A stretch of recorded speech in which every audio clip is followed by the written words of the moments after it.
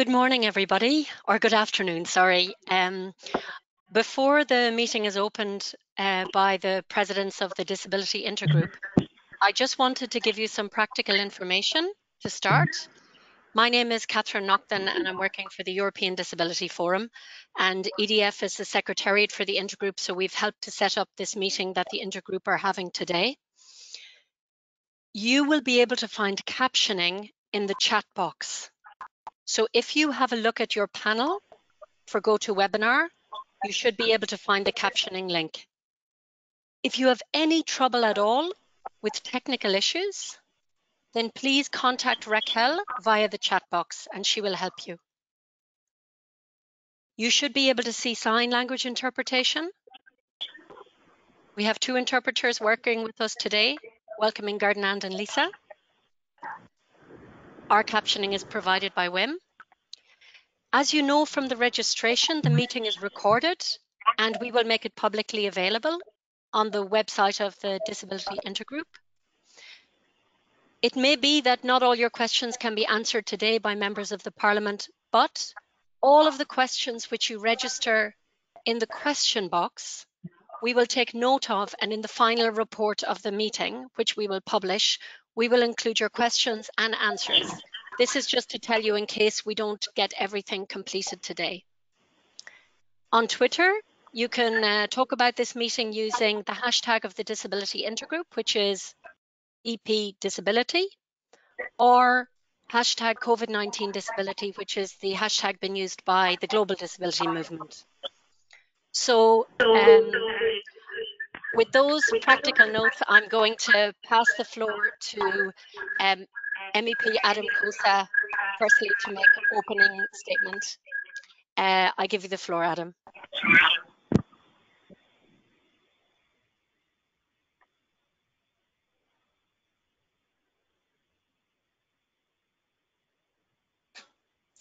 All right, hello everyone. Dear members the Bureau, dear colleagues, first I would like to thank you for all colleagues in EDF um, involved in organizing this first ever online meeting of the Disability Intergroup. Also, dear Commissioner Dalli, welcome. A special thanks for creating an accessible meeting with sign language interpretation and live captioning.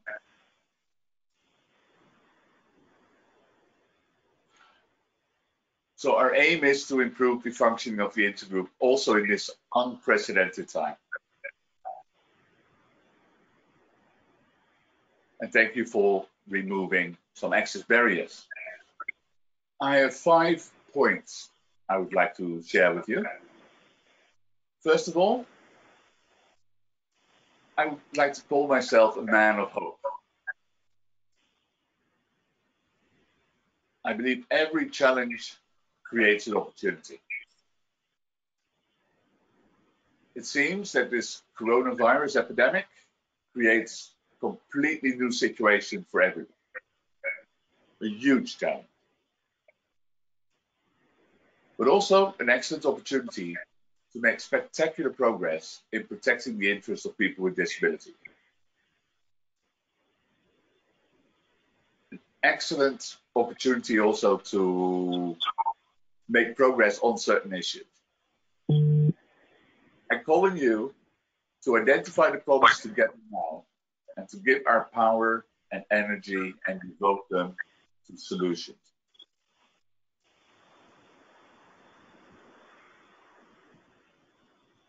Secondly, recently I've become aware that society's sensibility increases during times of restraint. We are paying attention now to each other during this period. It's hard to grow in a society in which one's important problems are treated as non-existent. Therefore, we must take advantage of the current opportunities going further together and not alone. Thirdly, the value of technological developments is also increasing now. Communication, work, and other areas of life have been shifted to the internet. Digital accessibility has become even more important during this period. Also due to the rapid growth of information and interactive services provided on the internet and through mobile devices. Online banking, shopping, using public services should be accessible for all people. Making websites and apps more accessible results in an overall better user experience for everyone, not only for people with disabilities.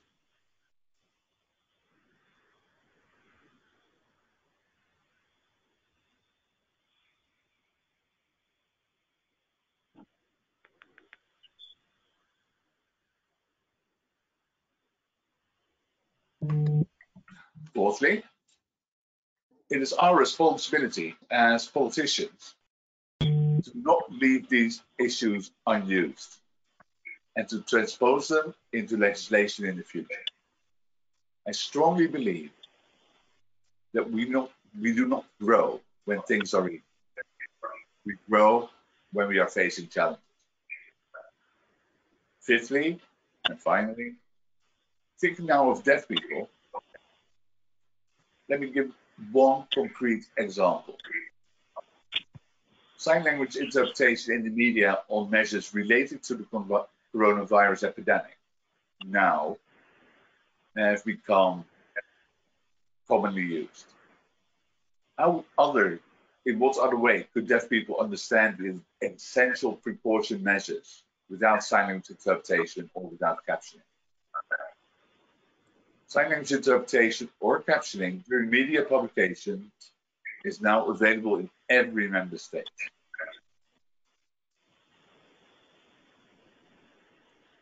Moreover, also the European Commission is starting to use it. In the long run, this will lead to an increased acceptance of sign languages.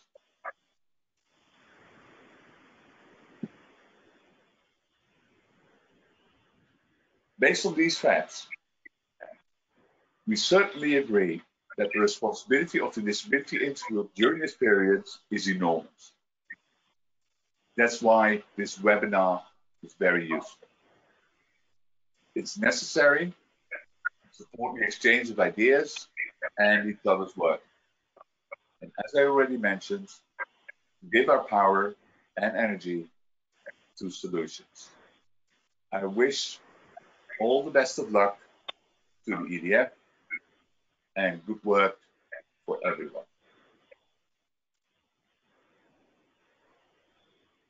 My colleagues in this group and everyone. All the best to you all. Thank you for watching. Thank you so much for those opening remarks. And I would just like to give the floor now to Mr. Brando Benifei, another president of the Disability Intergroup. Brando, you have the floor. Hi, um, hi. I think now you can you can hear me. Um, first of all, I want to to thank uh, all of you for being here. Uh, this is uh, the first uh, um, uh, online meeting ever, I think, of the disability intergroup, also in this in this form uh, for the new legislative term of the European Parliament. One of the first uh, meetings, in fact, in general for this term. Um, I'm glad uh, to find uh, my friend and colleague Adam Kosa and some of you I've already seen uh, well and and ready to discuss uh, today and to be active in this in this a discussion. Obviously, we would have preferred to start our work for this mandate um, not uh, in uh, in these conditions, but obviously, um, I mean, we, we, we are ready uh, to work in this new in this new world that is being uh, built, in fact, by also what is uh, has been happening in terms of the, the diffusion of the virus.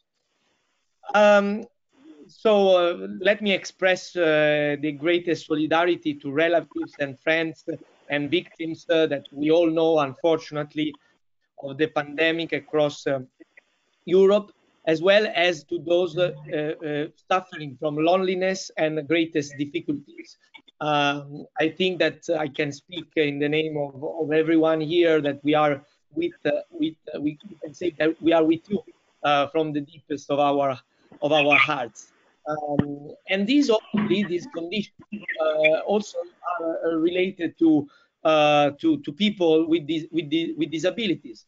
To some extent, it's paradoxical um, that even today, when the mainstream population more than ever can understand the challenges, the difficulties that people with disabilities suffer in their lives, and is experiencing some of the daily fears and concerns uh, that they, they experience all the time, uh, we risk anyway, in this context, we have to be honest, that once again, people with disabilities are pushed back at the end of the spectrums of the most important uh, topics and, and questions to be dealt with. Their, their, rights, the rights of people with disabilities, risk to be put uh, at the end of the priorities.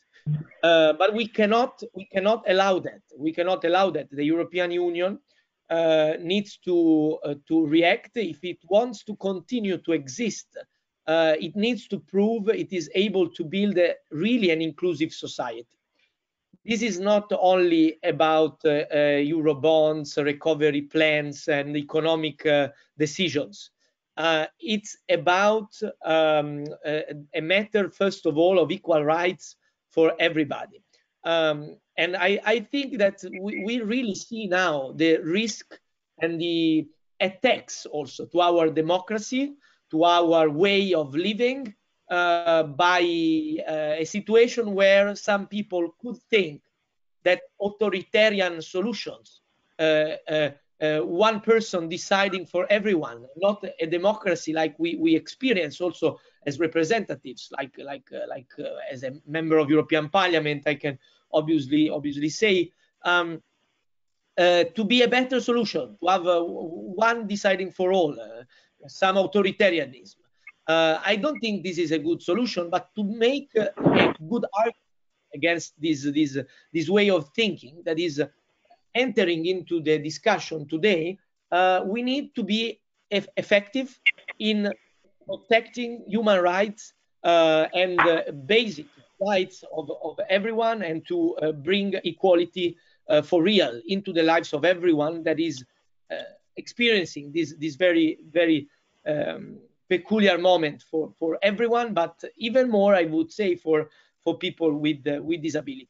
So this is the topic also of the meeting of today, how to guarantee equal rights for, uh, for everybody in the current scenario. We will uh, listen to EDF uh, members analyzing the situation um, from uh, the ethical considerations in the process of evaluating conditions of people sick with uh, virus while accessing to healthcare, to the issue of multiple discriminations of the most vulnerable people, also the, the issue of suspension of vital services to the situation of people segregated in institutions. And we will go on with, with, with these topics uh, that are all very important. We are honored also and glad to host Commissioner Dalli that will speak uh, after um, after this, this, this first part to also give the Commission's response. A speech arrives after yesterday public commitment of high-level representatives of the European Commission, among which uh, the Commissioner Dalli herself, to work on the issues of funding, staffing, and providing protective equipment to social services. We were very, we very much welcome this support, and therefore we will be glad to listen to more details on this from Commissioner Dalli. It will be, be then the turn to MEPs to discuss more in depth also possible actions from the side of the parliament and from the disability intergroup members. I think we all look forward to start the concrete discussion um, after this uh, first round of in introductory uh, points. Uh, so I, I, I, will leave the floor immediately to Mr. President uh, Vardakastanis, and I would like to thank the EDF for the precious work for all of us. It's it's amazing to see that we are almost 300 people connected. Uh, it gives the clear message that we are ready to fight for a more equal Europe for everyone. Thank you very much. Thank you so much uh, to our two presidents for their opening words. Um, and now we will hear from Yannis Vardakastanis, the president of EDF, some opening words. Yannis, are you going to put your camera on? Perfect. Welcome. Thank you, Catherine. Before I begin my presentation, on behalf of the European Disability Movement, I would like to express our sorrow and our condolences to the victims with disabilities of this COVID-19 pandemic, but also the victims of neglect. And also, I would like to salute all those colleagues, friends, and allies in the disability movement and in society that have been working tirelessly to support persons with disability in this unprecedented situation that we have found ourselves in. Dear members of the disability intergroup, dear Commissioner for Equality, dear colleagues, dear friends. I would like to thank all of you for participating in today's online meeting. And of course, I would like to thank the Disability Bureau for holding this meeting today. It is absolutely imperative that we have this discussion, which is happening during the crisis, during the sufferings that our people are experiencing. The current COVID 19 crisis has dramatically impacted on persons with disabilities. Neglect and exclusion are putting persons with disabilities in a great danger, to say that this neglect and exclusion are recurrent.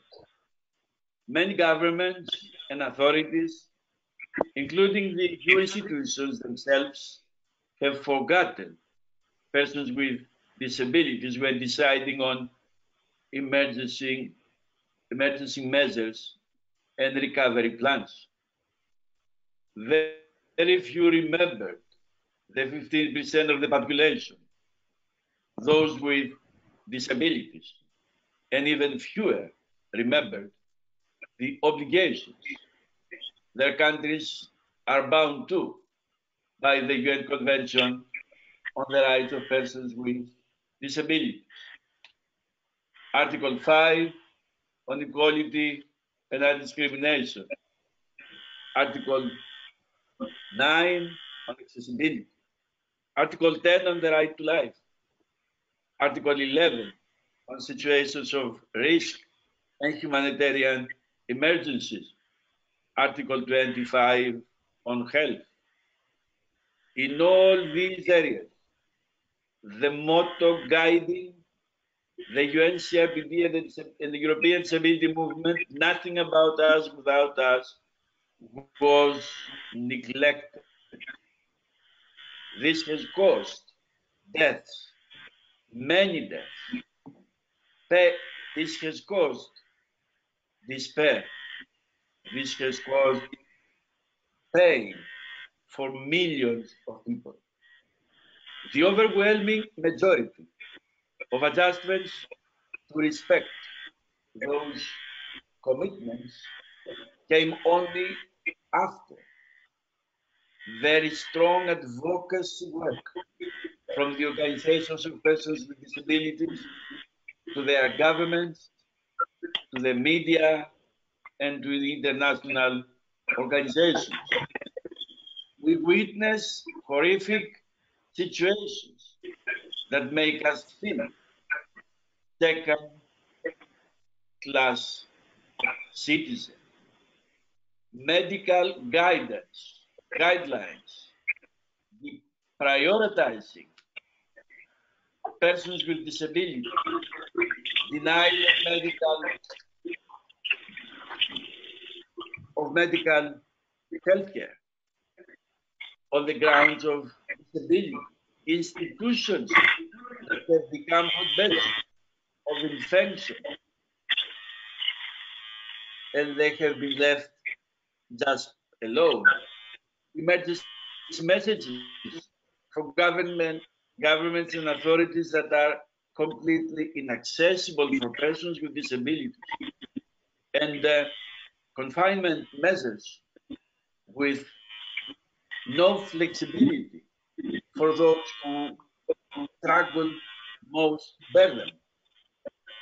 Domestic violence increasing, especially for women and girls with disabilities, more about risk of suffering. Support services with no protection, no staff, and no funding to carry on. From the beginning, EDF and our members have been mobilized, have been outspoken to raise all these issues to the EU institutions, to the heads of the of states, to authorities, to all those who take decisions and forget their commitment and ignore their commitments. We need the EU to take a strong stand in protecting persons with disability, our organizations, etc., services, etc. We cannot stand anymore endless political discussion among countries within the EU institutions. We need to understand that the lives of persons, of, of European citizens are at stake. The European project is, is itself is at stake. And that's why today's discussion is of paramount importance. We need to arrive, we need to agree on clear actions, on a clear approach. The European Commission needs to take action and undertake initiatives towards the other institutions and, of course, the governments, and to use all the necessary mechanisms they have the semester and other mechanisms, but they need to be fast. The protection of lives of people needs fast action. The parliament also, the council, we need to work. Now the Europeans need the European Union more than ever before. What we knew before the crisis is over. What is coming is unknown we need to be at the forefront to protect the rights of persons with disabilities, first and foremost, the right to life. Thank you very much. Yannis, thank you very, very much. And at this point, we have a session of inputs from a number of speakers coming from across Europe, many from countries that are deeply affected by COVID-19. And they will speak very briefly about some of the most important issues from the disability movement that we would like the members of European Parliament and our other partners in the European Commission who are here today to, to hear about. So the first person I will give the floor to is Vice President of the European Disability Forum, Ana Peláez, and she is coming through to us from Spain. Ana, would you like to put on your mic or just your uh, or your camera?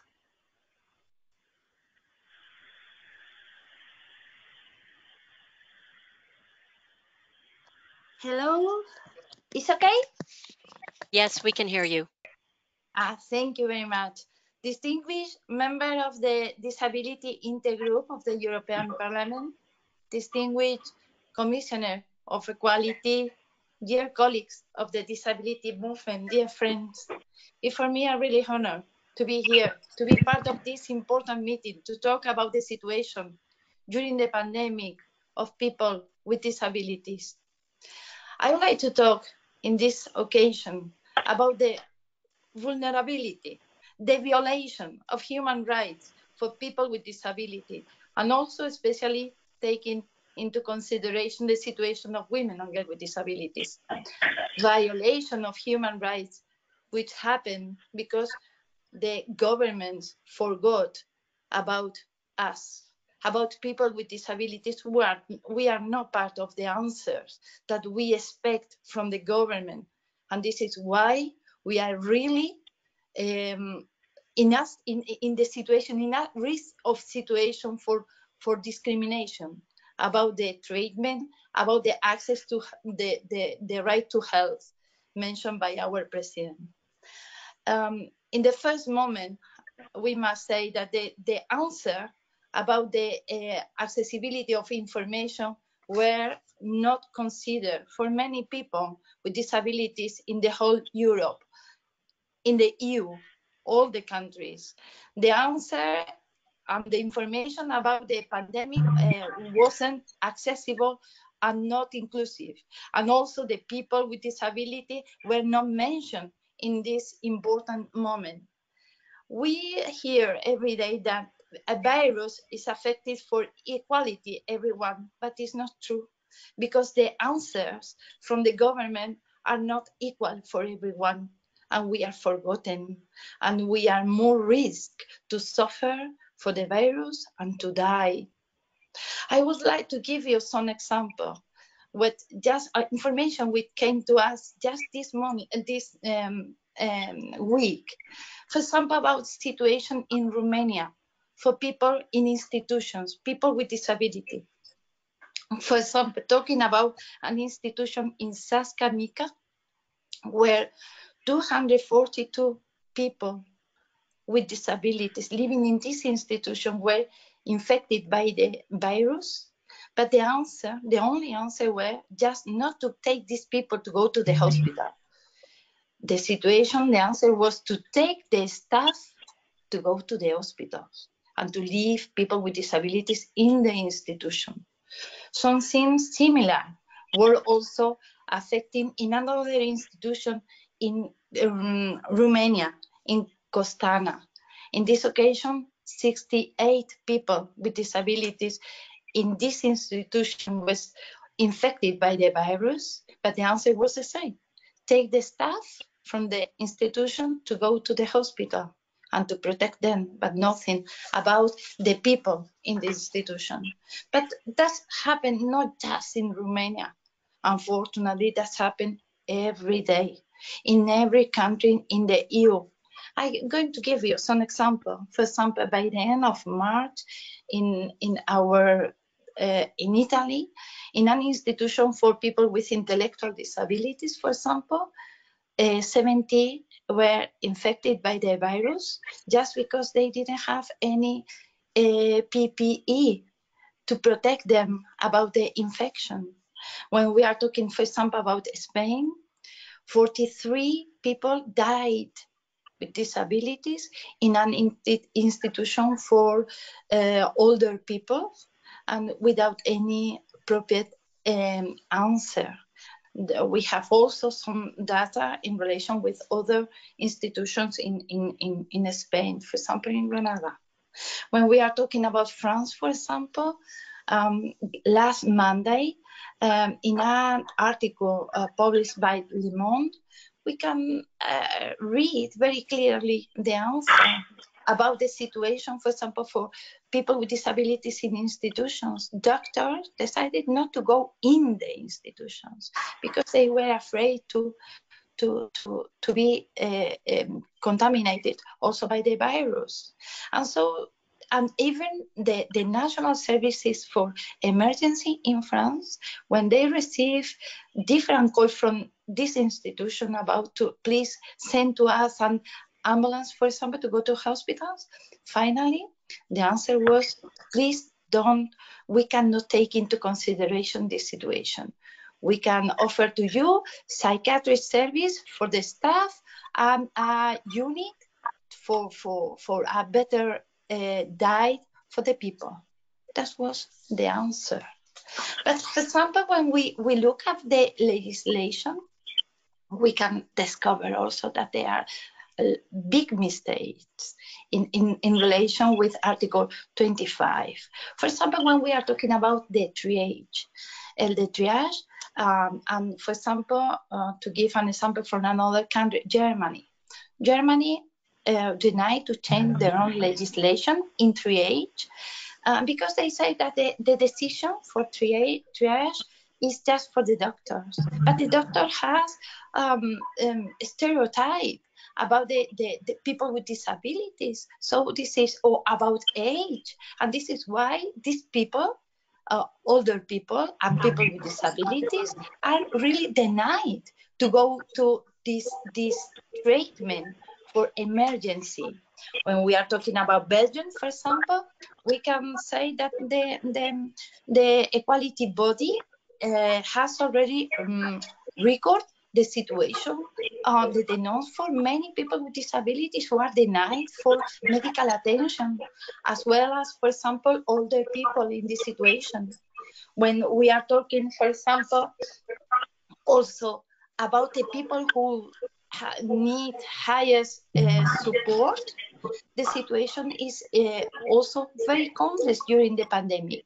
For example, in many countries, uh, for example, the centers to uh, look after the people during the day has already closed, and the people who needs um, high support uh, for, for, for living every day have to go to home without any support for the families, for example. Ana, and Yes. Ana, could I just ask you, because we've got very short interventions from each board member, if you could start to um, uh, wrap up, if that would be possible. Yes, thank you. Sorry about that. Finally, I would like to talk about the situation of women and girls with disabilities, who, as it was mentioned by our president, the risk of violation and the risk of discrimination is very high. And because uh, we don't have any kind of answer in relations to be protected about, for example, sexual violence, domestic violence, all these days. Also, um, women with disability has to very often look after children without any support, living alone with them. So this is why we wonder how we believe on the CRPD. Next Monday, we are going to celebrate the 12 years of entry into force of the CRPD, but we see very clearly don't, nobody believes on the CRPD. Thank you very much.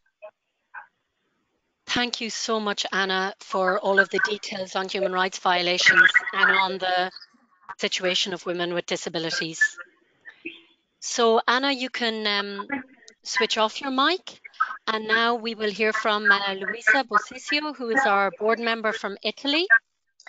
And she is, of course, in Italy, uh, just like Spain being one of the first countries to be very dramatically affected by um, COVID-19 and Luisa will tell us about the effect on services for people with disabilities.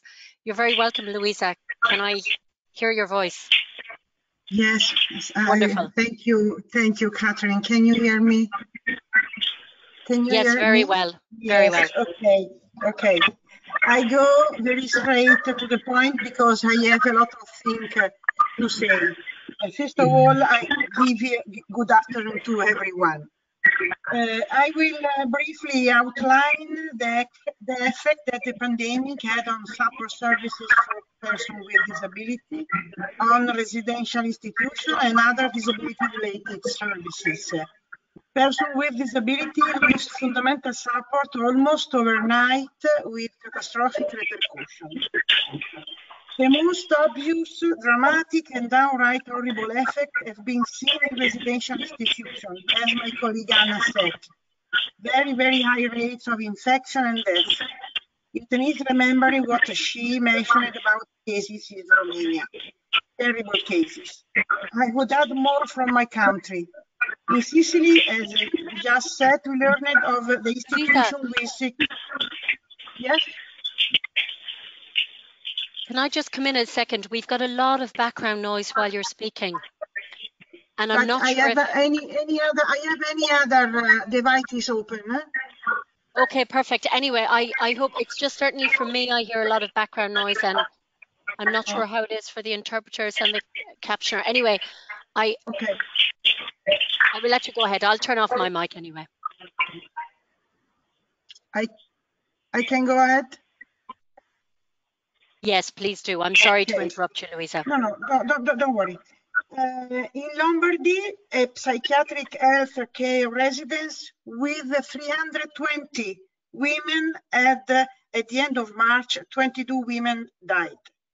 In a central northern region, in a residence for persons with disability, currently has 11 deaths out of 61 guests with intellectual disability, many of whom died in hospital and those hospitalized who survived did not fare much better. In the COVID world, there is no time to respond to the needs of non-collaborating, who are tied to the beds for the duration of the hospitalizations.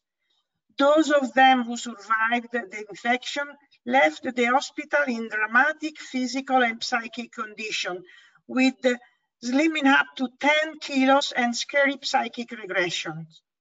These examples show how it is the reality. It shows how authorities are consciously deprioritizing the health of those institutions. Research shows that half of Europe coronavirus-related deaths happen in care homes. Uh, let me say a word on this. The high num number of these deaths means that, first, these citizens were judged expandable. We need emergency plans and therefore pandemic emergency plans that include persons with disability. Today, it isn't. Second, these systems were not designed to be inclusive. We need alternative measures to the institutionalization. Such institutions were created to provide protection, but by now evidence has shown they didn't protect anyone. We must think differently and build innovation, and this pandemic will give us an opportunity. Relaunch, reinforce, rethink the EU plan of the institutionalization. The pandemic may open up opportunity for change or we will live like before. Absenteeism and lack of protection means that it's not only infection rates that are high. Abuse and neglect too. This is a situation that we observe across Europe, and it is complicated by the fact that residential institutions often have stricter lockdown conditions where patients cannot even have one visitor, often cannot even leave their room, and are frequently denied even the means to contact loved ones by phone or video. This makes much more difficult for residents to report cases of abuse and, and neglect and to seek help. Community-based services are not very much better. Support workers are not prioritized to receive protective equipment and as you can imagine, social distancing is not a possibility. It becomes very likely for, for them to get sick and infect others. Many authorities cannot provide solution or alternative if support worker gets sick or need to quarantine. Even worse, we heard cases where the solution was to go to an institution. Many people had to choose between receiving support or getting infected because they had no other choices. We learned about a person in Belgium that had to make this decision. I want to underline how outrageous the lack of protective equipment has been. Myself had to spend days in the car traveling to pick up purchases of personal protective equipment because there was any available due to requisition by the authority as they were all intended for hospital and sometimes avoiding scams. It is not only this uh, residential institution and community-based community support that are suffering through. All disability-related services were already underfunded and many had to adapt and find creative solutions to continue supporting people, often at their own expenses. We know of education services providing a phone line open 20 hours for seven days and teacher calling twice a day. This is being done at great expense of the services and their staff. While we comment this activity, we are very displeased with the lack of support and funding from local, regional, or national authorities. In Italy, the suspension of lessons in attendance do not guarantee didactic continuity, especially for those with intellectual disability, but not only, that are de facto excluded from distant learning mode, relegating them to the end of the list. This means that students with disability will have even wider educational gap than before, and many may not be able to resume their educational plan, path. At this point, let me add a huge problem for persons that are blind.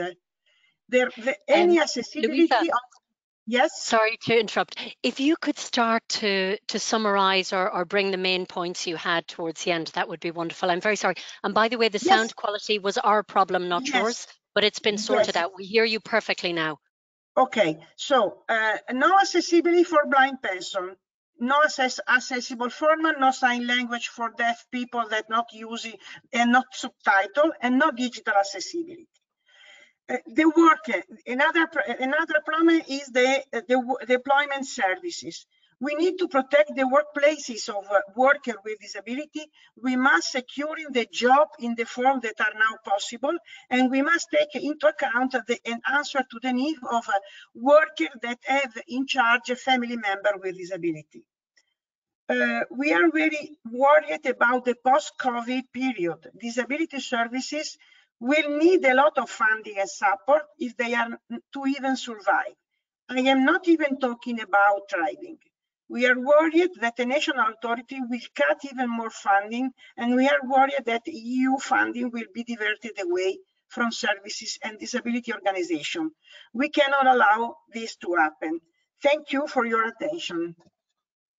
Thank you so much, Luisa. And now I would like to give the floor to our board member from Denmark, Thorkild Olesen, who will speak about the role of dis disabled people's organizations. Thorkild, can we hear your voice there? I guess you can. I hope you can. Perfectly, perfectly. I give you the floor. I will avoid uh, using the camera uh, as uh, you will concentrate more on my words when there's no picture of me, I guess. Um, first of all, thank you very much for this opportunity to speak about the role of uh, disabled people's organization in this pandemic. Uh, and I will start by saying that I am extremely proud to be a member of an organization, of a movement across Europe who has been a real important tool for uh, uh, for both the uh, the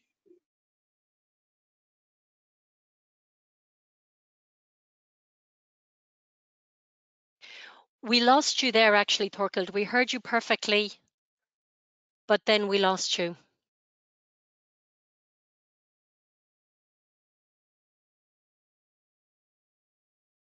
the the, uh, the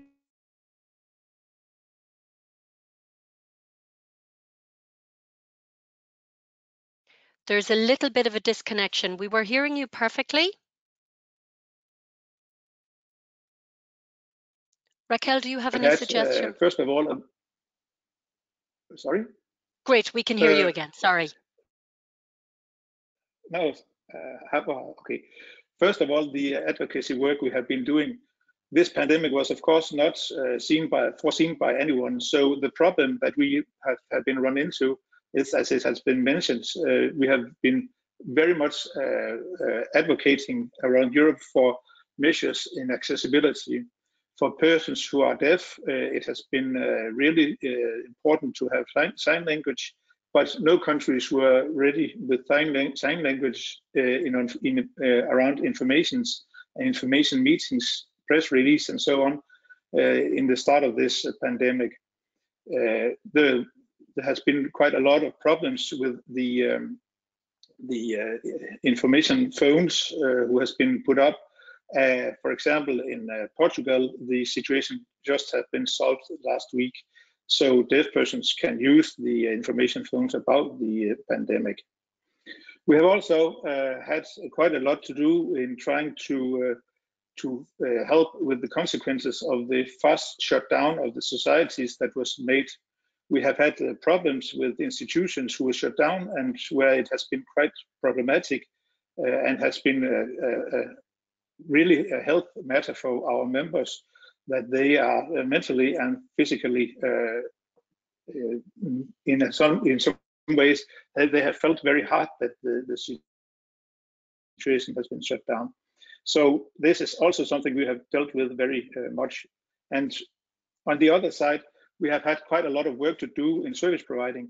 Our member organizations have uh, been uh, working in trying to help with food, medicine, uh, and all other sorts of help uh, in basic help to members of our organizations, help that we have not been used to and that has strain, uh, been a strain to the organizations.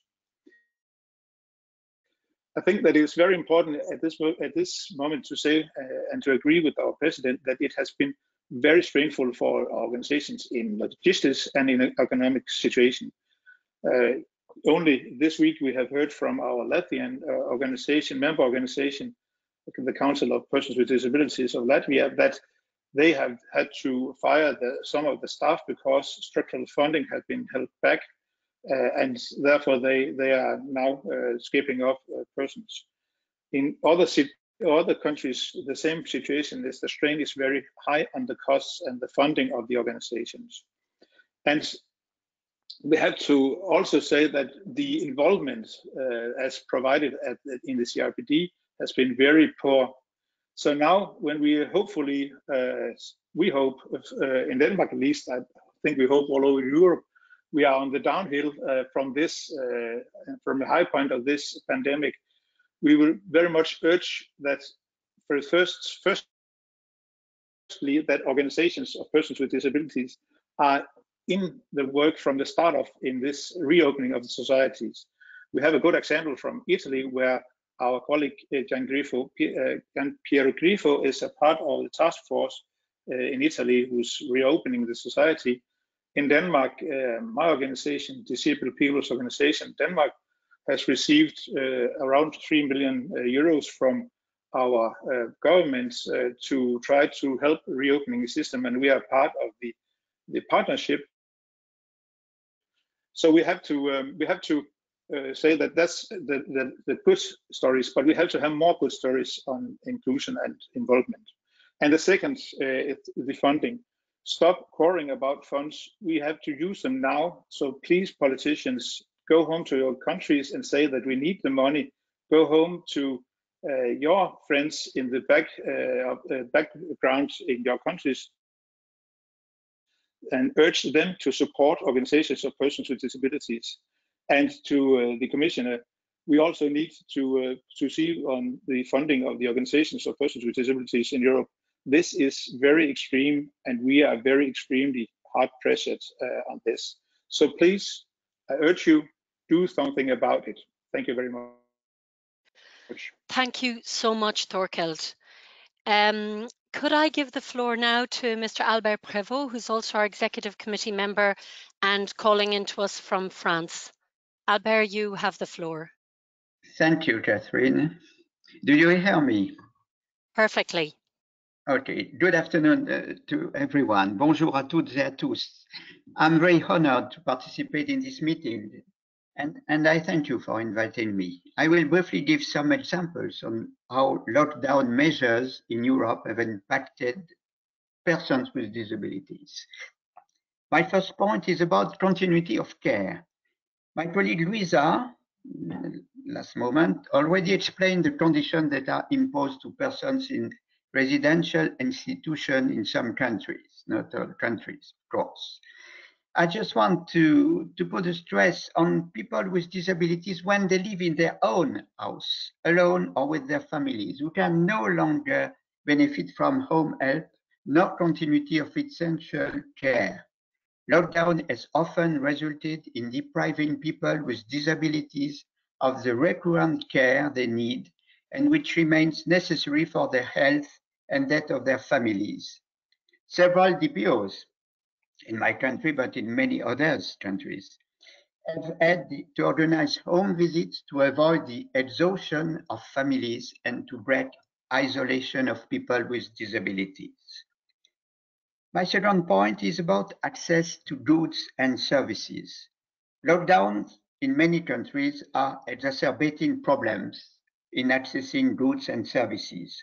Of course, persons with had already before the pandemic more difficulty to access them due to accessibility barriers. However, that problem exacerbated.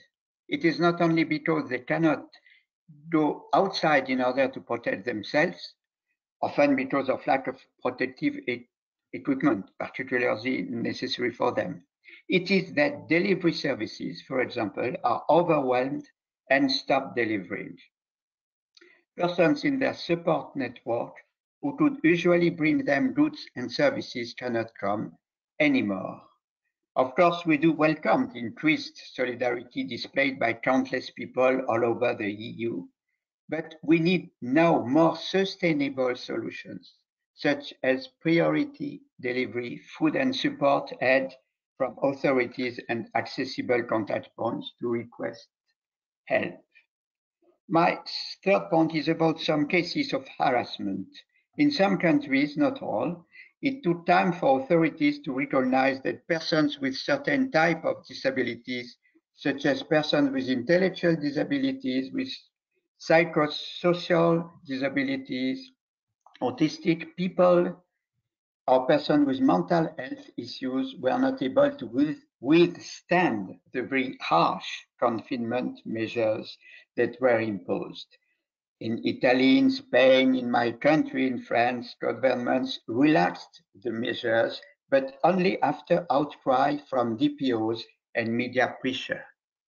I must add, with a little shame, that this, however, created a problem of harassment of persons with disabilities because some people thought they were breaking the rule. The problem was and is widespread, as we must know that. My first point is about information. We have also to ensure the continuity and effectiveness of people's rights. It has been said, an important issue about information, about providing information accessible to all people with disabilities. I mean information for people with disabilities and we had to develop adapted communication tools very quickly, but also about people with disabilities. For instance, we heard being stopped by of workers being stopped by police because police didn't understand that a client's home is a place of work. In some countries where you need administrative forms to go out, such as my own country, and I think in Romania, organizations of persons with disabilities had to create accessible versions of the forms so blind and partially sighted person could fill it. Well, I, I have my next point. I will be very short because the time is is not a long time. It will be uh, short because it, it has been mentioned. I mean about education, but we have a special concern about education there is still great uncertainty about the conditions of schooling for children with disabilities at home. Lockdown keeps them away from personal assistance and sometimes from a safe environment. It also increases the digital gap for those who had, who social vulnerability to their disability. And the last point, of course, is about the conditions of hospitalization disability must not be a criterion for refusing care, whether we are talking about simple hospitalization or resuscitation. This is very important the, on the arrival at the emergency room in hospitals. Finally, we can say the early involvement of organizations of persons with disabilities could have avoided most of these difficulties. It is therefore very important, it, it will be my conclusion, I think, that the DPOs be clearly involved in the gradual phase out of people with disabilities from lockdown. Thank you. Thank you so much, Albert. And now I would like our final speaker from the disability movement before we give the floor to Commissioner Dalli will be Dovile Juodkaitė, who is our board member from Lithuania. Dovile, you can also turn on your um, video if you like, or just use the microphone, whichever you want, because actually our, our sound problem is resolved. So you're very nice to see you. Thank you so much. Greetings to everyone. Do you hear me? Perfectly. Okay. Uh, I would like to really thank you for inviting me and making the contribution on behalf of the European Disability Forum here in this very important meeting. And as my colleagues already said, the European Disability Forum and organizations of persons with disabilities uh, Europe-wide is uh, generally very extremely worried about the post-COVID period. And one of the main concerns is related to funding. Funding for social protection for persons with disabilities, funding for support services in the community, and funding for the organizations of persons with disabilities the toll that the last economic crisis took is not only fresh in our memory, but also something that many persons with disabilities still live with. We are worried that funds will be cut. We are worried that funds will be diverted. And we are worried that EU funding that would have been used to support social inclusion and actually social justice of persons with disabilities will be now allocated to other actions. New flexibility in the rules governing the use of structural funds and state aid should not result in less money for persons with disabilities. We are also worried that measures governments are taking to ensure liquidity for businesses do not reach and extend to disability services. This may mean that many will close even if funding is available for them at a later, later stage. We are also afraid that efforts to cut costs will reverse the process of deinstitutionalization. It is necessary to guarantee funding for the transition from institutional to community-based services, since we have seen the harm of institutionalizing people is very clearly, perfectly displayed during this COVID crisis. It is unacceptable. That is why institutions are created or given resources to continue after this crisis. We need strong financial measures, financial measure, measures that directly support persons with disabilities in the community. We need to avoid a repetition of the previous crisis where persons with disabilities were excluded and unsupported. Persons with disabilities are still suffering because of the last crisis. According to our recently launched fourth human rights report on poverty and social exclusion, almost 30% of persons with disabilities in the EU were at risk of poverty before this crisis. 43% in my own country, Lithuania.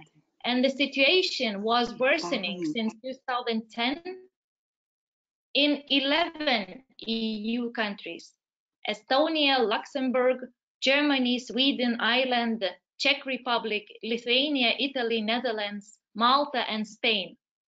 And in the countries where conditions improved, it took far longer to improve conditions for persons with disabilities. If the situation was already serious a few months ago, imagine how it is now and how it will be after this crisis if governments do not act.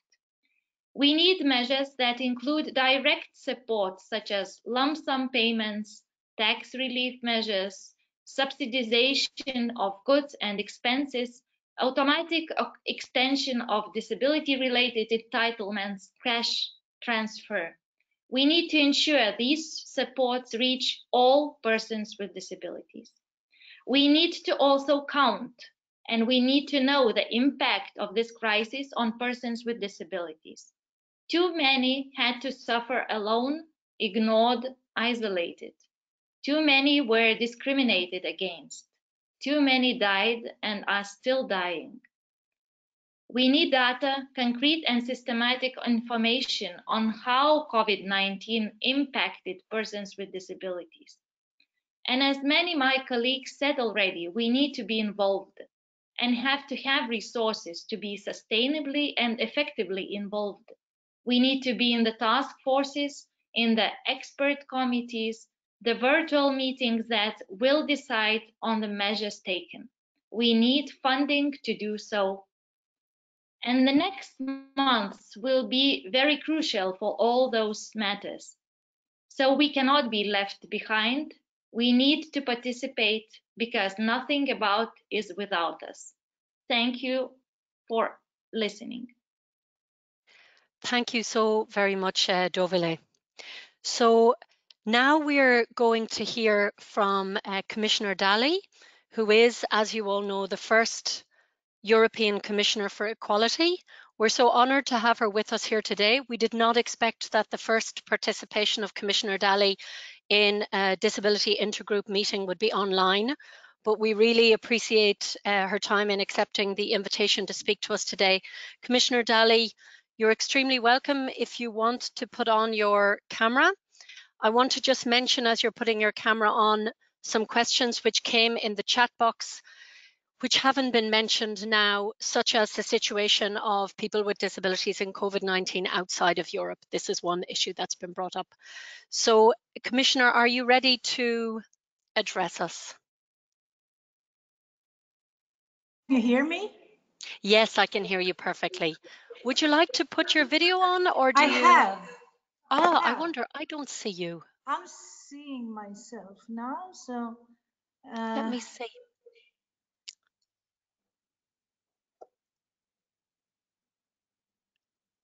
We'll just wait for a moment to see Uh-huh. if we can see There you because that would be wonderful. I think it would be good if we could see you. yeah.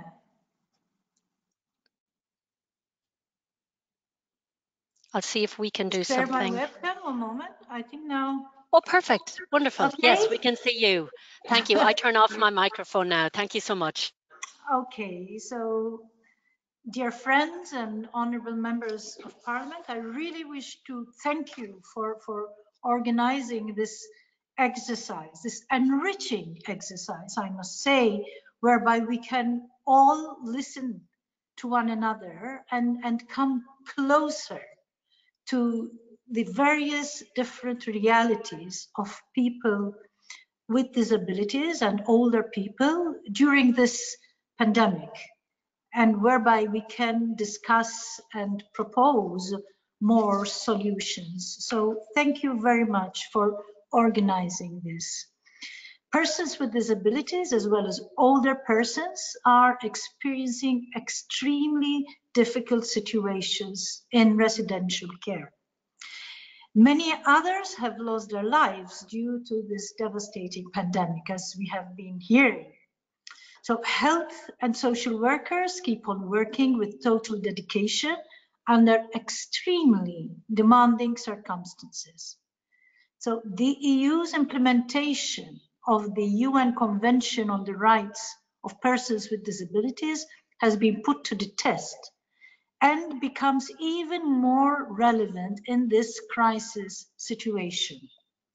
It is essential that the EU and its member state continue to respect the commitments undertaken when ratifying the UN Convention, notably the right to the accessibility of the highest attainable standard of health without discrimination on the basis of disability or age. At the top of the agenda for the European Commission is safeguarding the, the health and well-being of citizens. So we have reacted quickly and put in place several measures in the area of health policy to tackle the current crisis. This includes ensuring sufficient medical supplies and protective equipment. Thus, the Commission launched four calls for tender to ensure equipment for member states. It also published guidance on how to use the flexibilities under the EU public procurement framework. Furthermore, the relevant harmonized standards are freely available to companies with the aim to manufacture personal protective equipment of required high quality. To facilitate the identification of available supplies and match them with member states' demands, the Commission has also put in place a clearinghouse for medical equipment. Moreover, the Commission approved temporarily waiving customs duties and VAT on the import of medical devices and protective equipment from third countries. All of these supplies and equipment are commodities like any other, and they obviously need to be paid for. So the European Commission has come forward to help ease the financial burden that this crisis is causing. At the beginning of April, the Commission launched the EU Solidarity for Health initiative to support the healthcare systems of member states. It provides 6 billion euros for purchasing emergency support.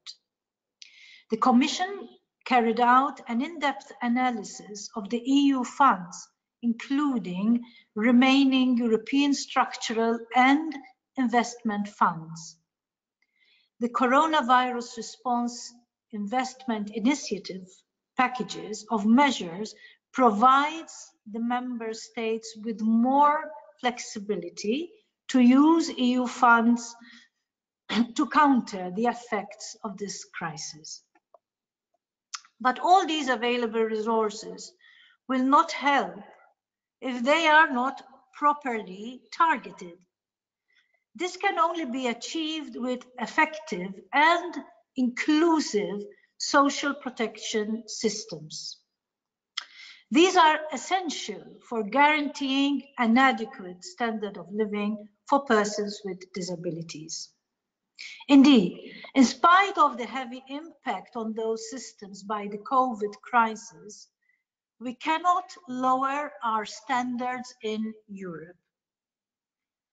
Social protection and inclusion are at the core of the European Pillar of Social Rights. We must ensure that unprecedented challenges posed by the COVID crisis are duly considered in order to make our social protection systems fit for the future. The European Pillar of Social Rights will remain the compass for upward convergence, even more so in times of crisis. Its principles, and in particular those of its third chapter, social protection and social inclusion, should be at the heart of our response to social challenges in the EU. The European semester continues to be the main vehicle for monitoring the implementation of the European Pillar agenda.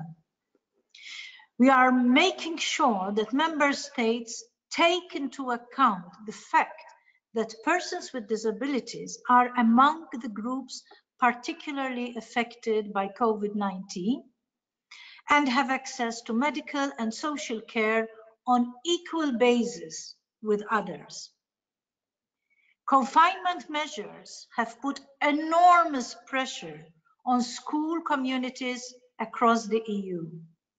As the learning process is primarily, primarily taking place virtually, learners with disabilities encounter barriers which can negatively affect their learning development and results.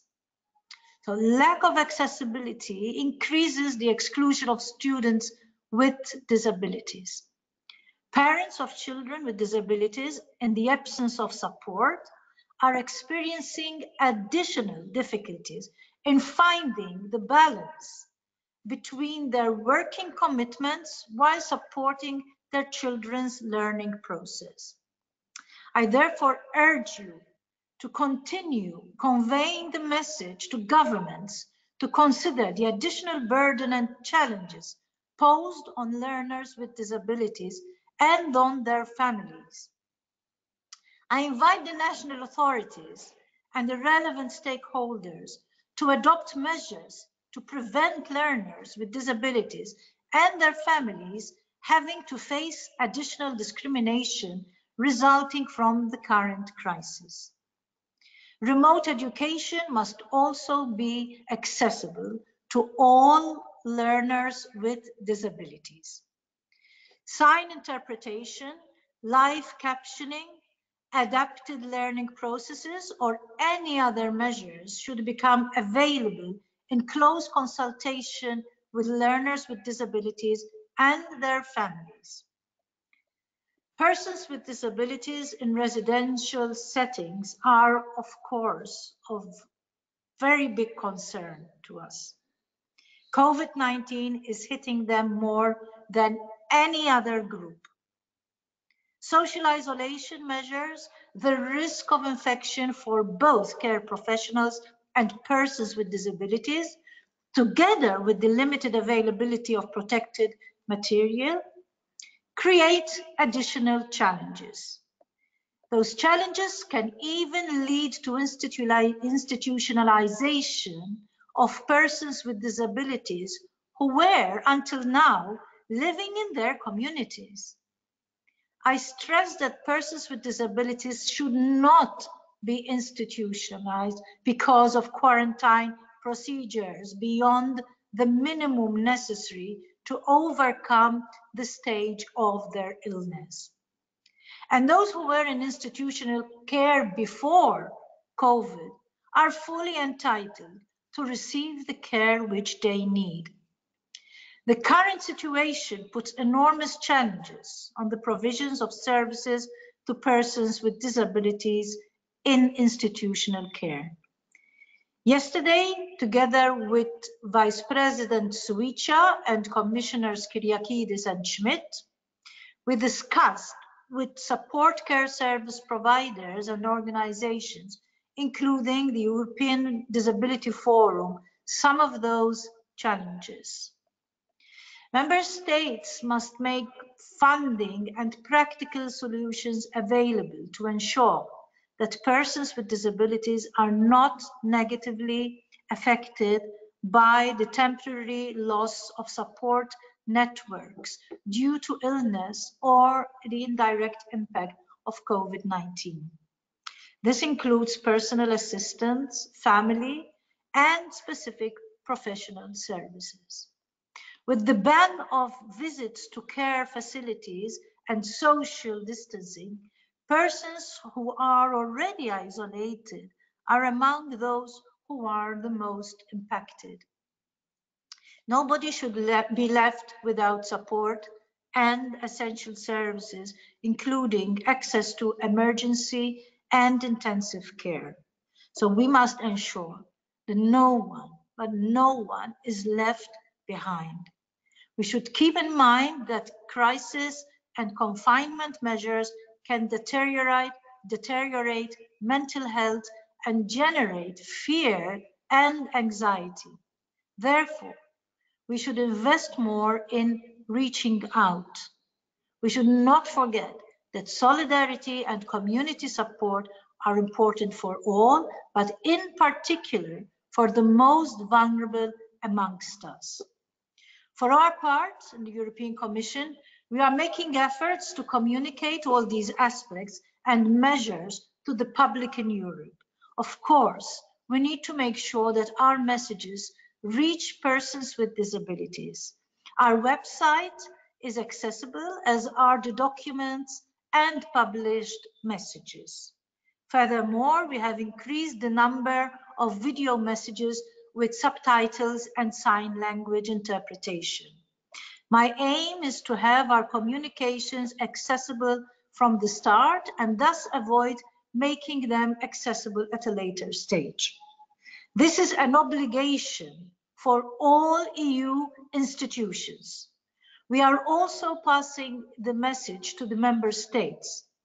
In our recommendation on mobile applications, accessibility for persons with disability is clearly included. I have written to all equality ministers in member states, highlighting issues concerning people with disabilities and old people. And we are now following up with every member state. We have to learn from the dramatic experience that this crisis has brought to the EU. And we have to apply what we have learned.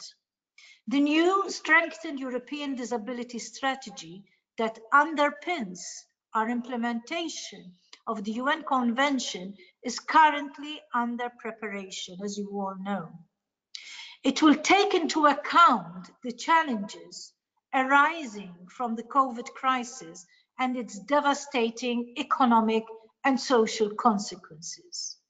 So we must avoid a deterioration of social networks and prevent further inequalities for persons with disabilities. To this end, I will keep my commitment to continue to be in contact with organizations representing persons with disabilities to identify complementary, concrete measures the EU can take for a collective and social response to COVID. We will continue to consult all relevant stakeholders in order to ensure comprehensive and effective EU action in the field of disability.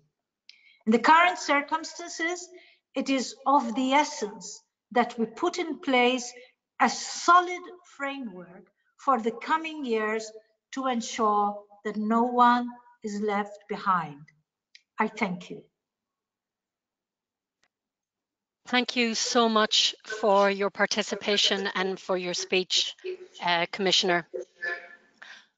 I would like to let everybody know that we will, because we started late, we have permission from our service providers like our captioner and Gerdinand, who you see there interpreting and Lisa, to go over time today because we started late. So it will be possible for you to hear all of the inputs from members of parliament that are going to participate now. And with that, I hand the floor to MEP uh, Dragos Pîslaru, who will give us an introduction to the role of the Parliament in general before various members of Parliament will also make interventions. I give you the floor. Thank you so much, Dragos. I will start with probably what is uh, mostly heard right now in the calls. Do you hear me? Really perfectly, and we see you as well. Good, thank you so much. Um, uh, thank you for the invite. It's it's really an honor um, dear colleagues, dear Commissioner for Equality, Elena Dalli, dear members of the EDF, I'm really glad and honored to be here today with you and to have this opportunity to speak with you.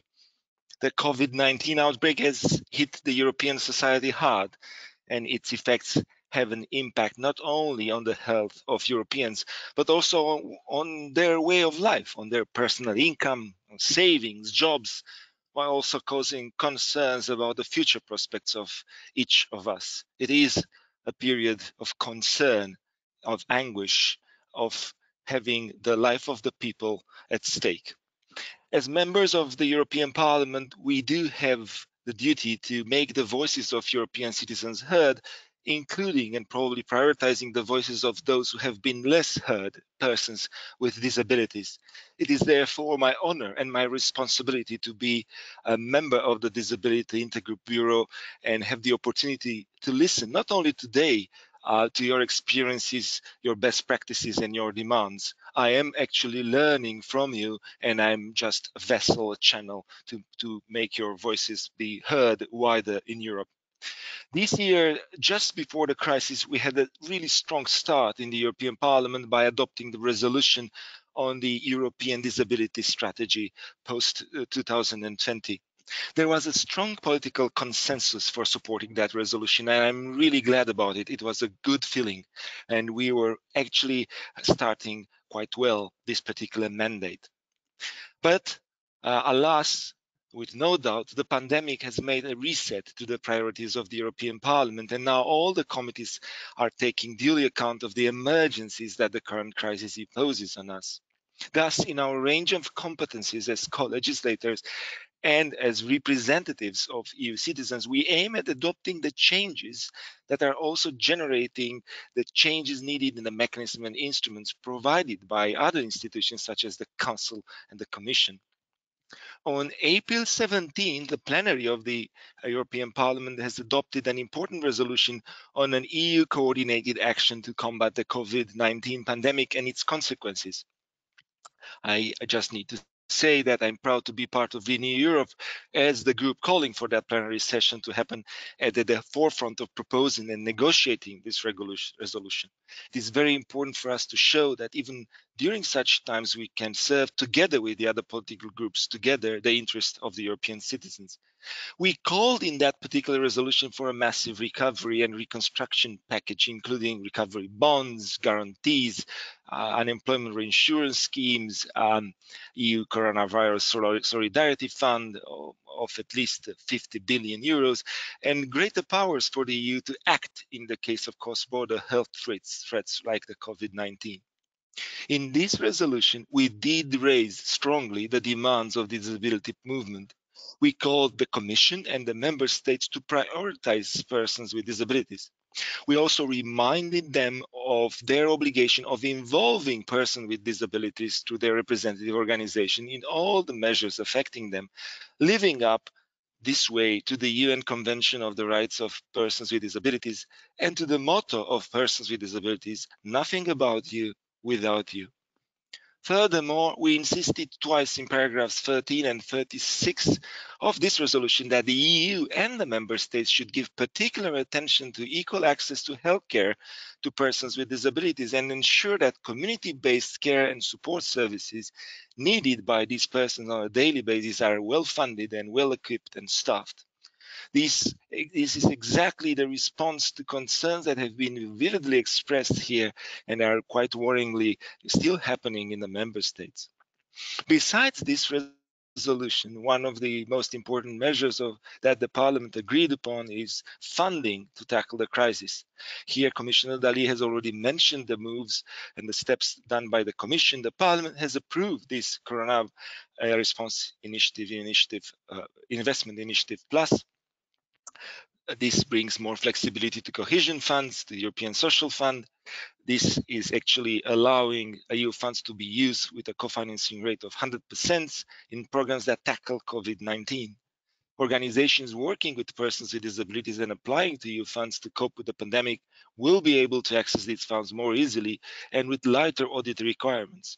I've heard actually before um, the speakers mentioning the fact that flexibility can be seen um, as having both a good part and a bad part. The bad part would be that money can be taken out from the spectrum of helping organization uh, catering the needs of people, the persons of disabilities. But the good part is that we have right now flexibility to bring more resources in this particular field and taking care of the most vulnerable.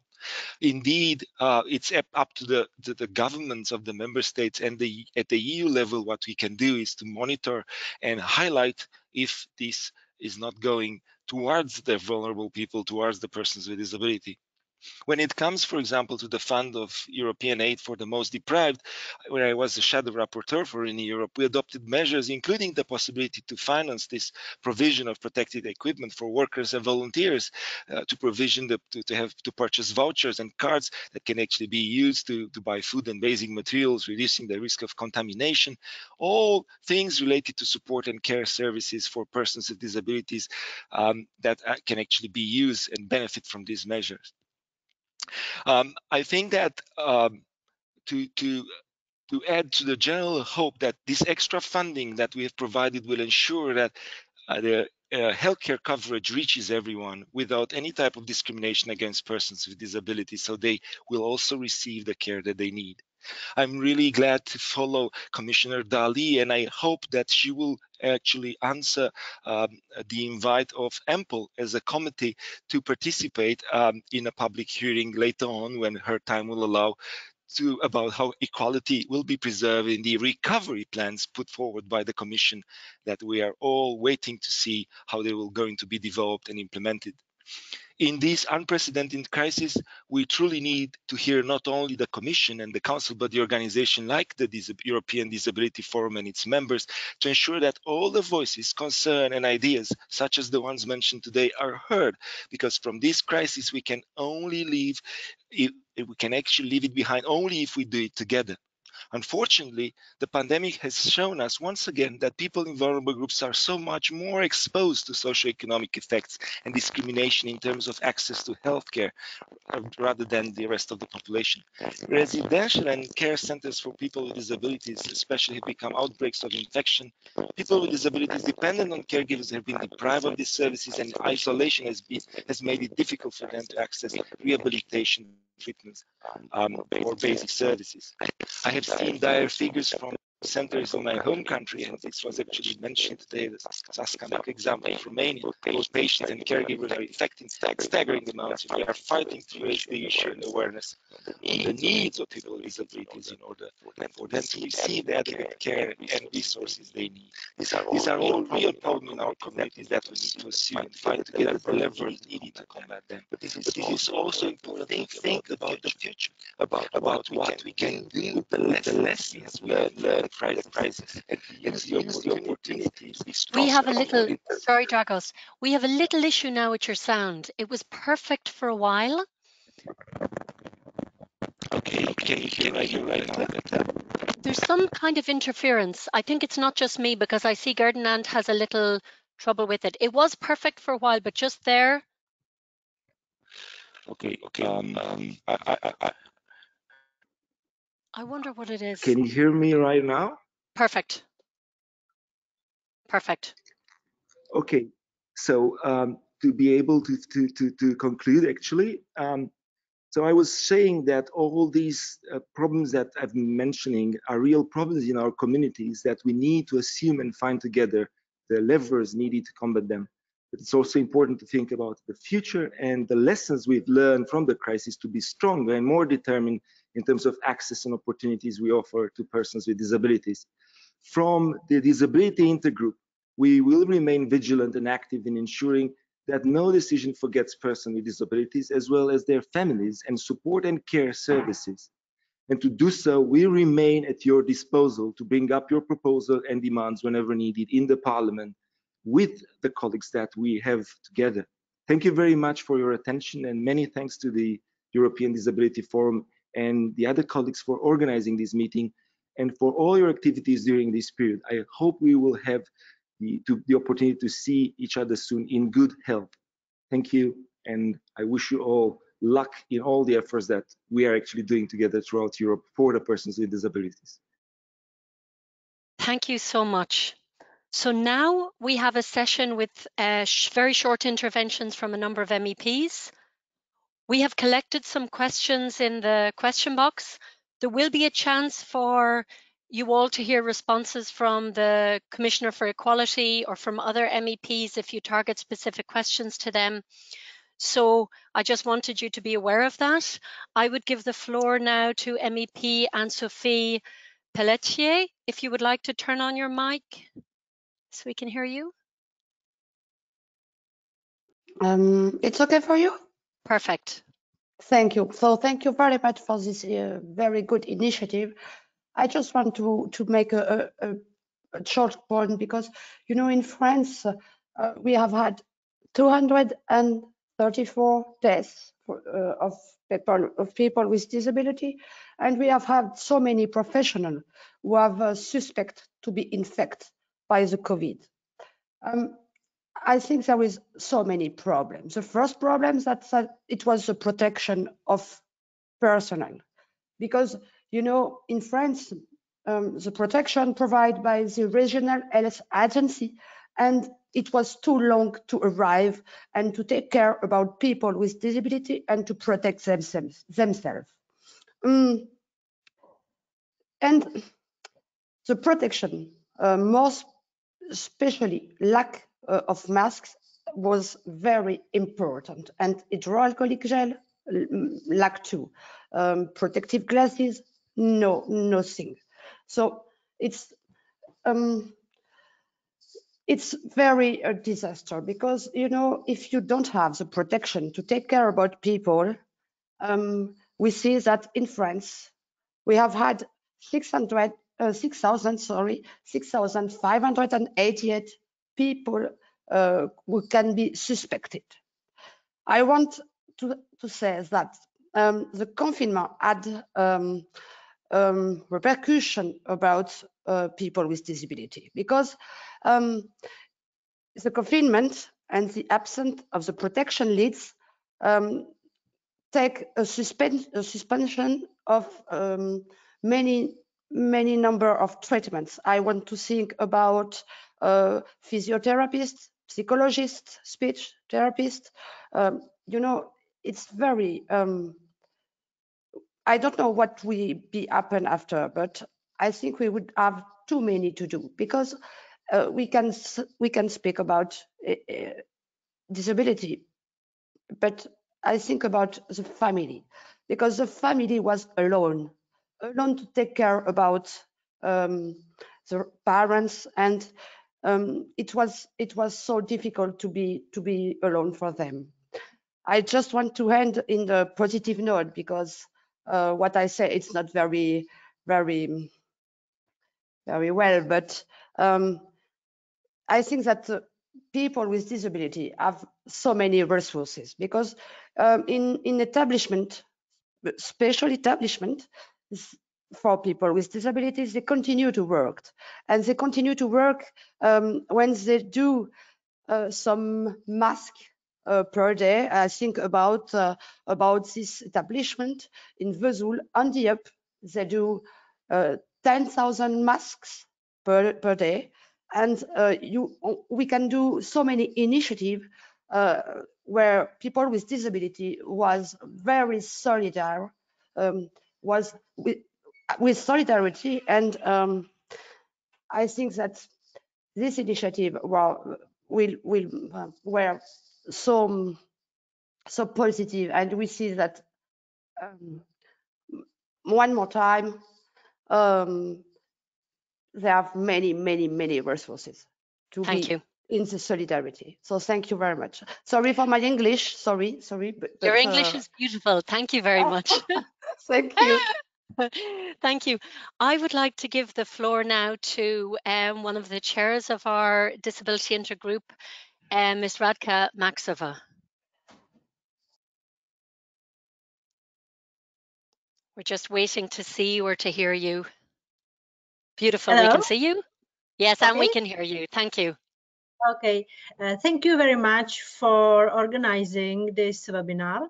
I think it's very helpful because we can share our experience with COVID and we can um, help with uh, plan for the future measures. Um, distinguished uh, ladies, men and colleagues, uh, naturally, the main focus uh, of the current crisis management efforts is on healthcare. However, informal care has been once again outside the center of attention. I would therefore like to stress that it is essential to adopt measures to support informal carriers who take responsibility for the care needs of their relative with disabilities. Failing to do so could lead to losses of life. In the Czech Republic, about 200 uh, 250,000 people are in home care and for about a third of them, construction of COVID-19 would be fatal. Uh, and yet persons in home care are basically not including in any system of allocation of protective equipment, nor they are accounted for the crisis planning. Uh, this is simply not acceptable. Uh, it is true that the situation differs from uh, one member state to another. Uh, yet, generally speaking, the support provided to informal carriers remains largely insufficient and fragmented.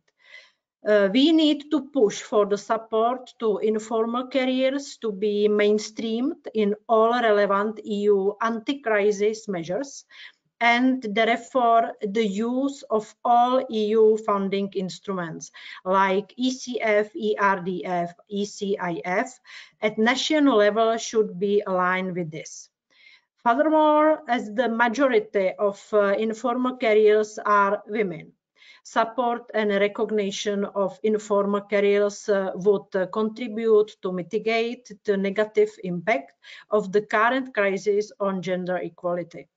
Uh, I am therefore pleased that the text call Renew Europe's uh, 11 commitments for the person with disabilities that is um, I initiated uh, does pay attention to the informal carriers, uh, also rather in long term and that it commits to ensuring swift transposition and implementation of the directive on work-life balance for parents and carriers in all the member states.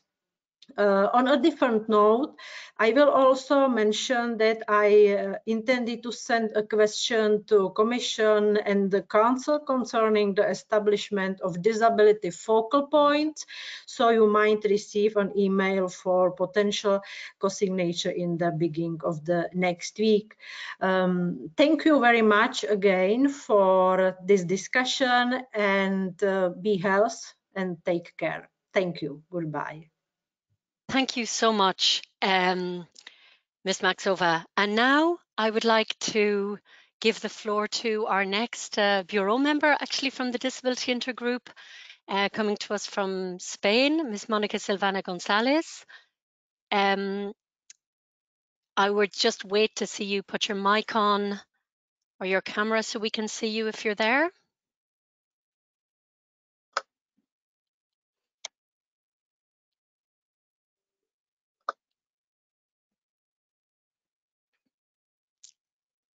Can you hear me? Now I can hear you, yes. Can you speak again?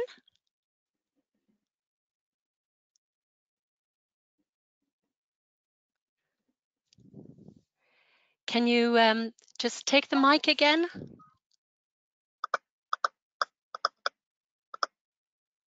There is a little, I think there was a little bit of an issue um, because perhaps you might be logged in twice. Perhaps that's why there's some interference. Raquel, can I ask you to help with this? Yeah, sure. Uh, but I think you need to uh, give the floor to Stelios, and I'm going to uh, take this with uh, Monica very quickly.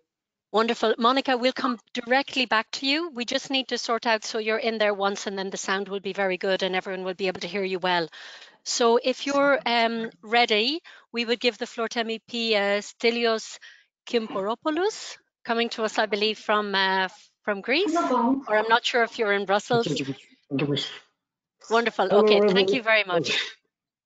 Hello, everybody. Um, uh, Honorable Commissioner, dear colleagues, uh, dear guests, uh, dear organizers, I would like uh, sincerely to thank you for this uh, beautiful uh, uh, webinar, which is uh, uh, accessible for everyone. Uh, I think that we have heard very good presentations from the speakers before, but I have I, I, want to make a, a point that I feel some somehow sad that uh, some of us they still believe that uh, uh, institutions are acceptable, and uh, I say I say that because I need to say something from my uh, own perspective. I have been trying for a while to find the number of the European disabled citizens. So I asked Eurostat, and I got a nice email back informing me that the data, if, uh, the data it provides concerning disabled people does not count people in institutions or collective households. So I cannot stress this enough. Let's make the people count. Following the lockdown, the, the institutionalization must continue. So, Mrs. uh, Commissioner, please keep in your plans to inform us about the Commission's strategy on the digitalization many of us asked in the December's plenary. The second point is that during the lockdown, I tabled with many of uh, you colleagues three written questions related more or less to disabled uh, and COVID cases. Some of us can have some treatment online, so progressive on telemedicine can be applied. It is important to avoid uh, going to the hospital. For some, the lack of treatment means steps back. Some say years back. So I would like your view whether we should address this issue jointly. A second, my, my third and last point is a non-contemporary but all-time classic subject of disablism. An advertisement in Greece appeared with the following plot. Before I was happy. I had friends, a girlfriend, a career. Then I had a car accident, and now I'm disabled. Therefore, I'm unhappy. This does not shape the social position of the disabled people. And I would like your view on disabled, on how disabled uh, in the media should be dealt. Thank you. Thank you very much um, for your intervention, and I we'll move on. It's it's wonderful to have all the MEPs giving um, their interventions. I apologise to everyone if we have little delays in between. Um, could I now come back to our co-chair again, Ms. Monica Silvana Gonzalez, uh, to see if your sound is working okay?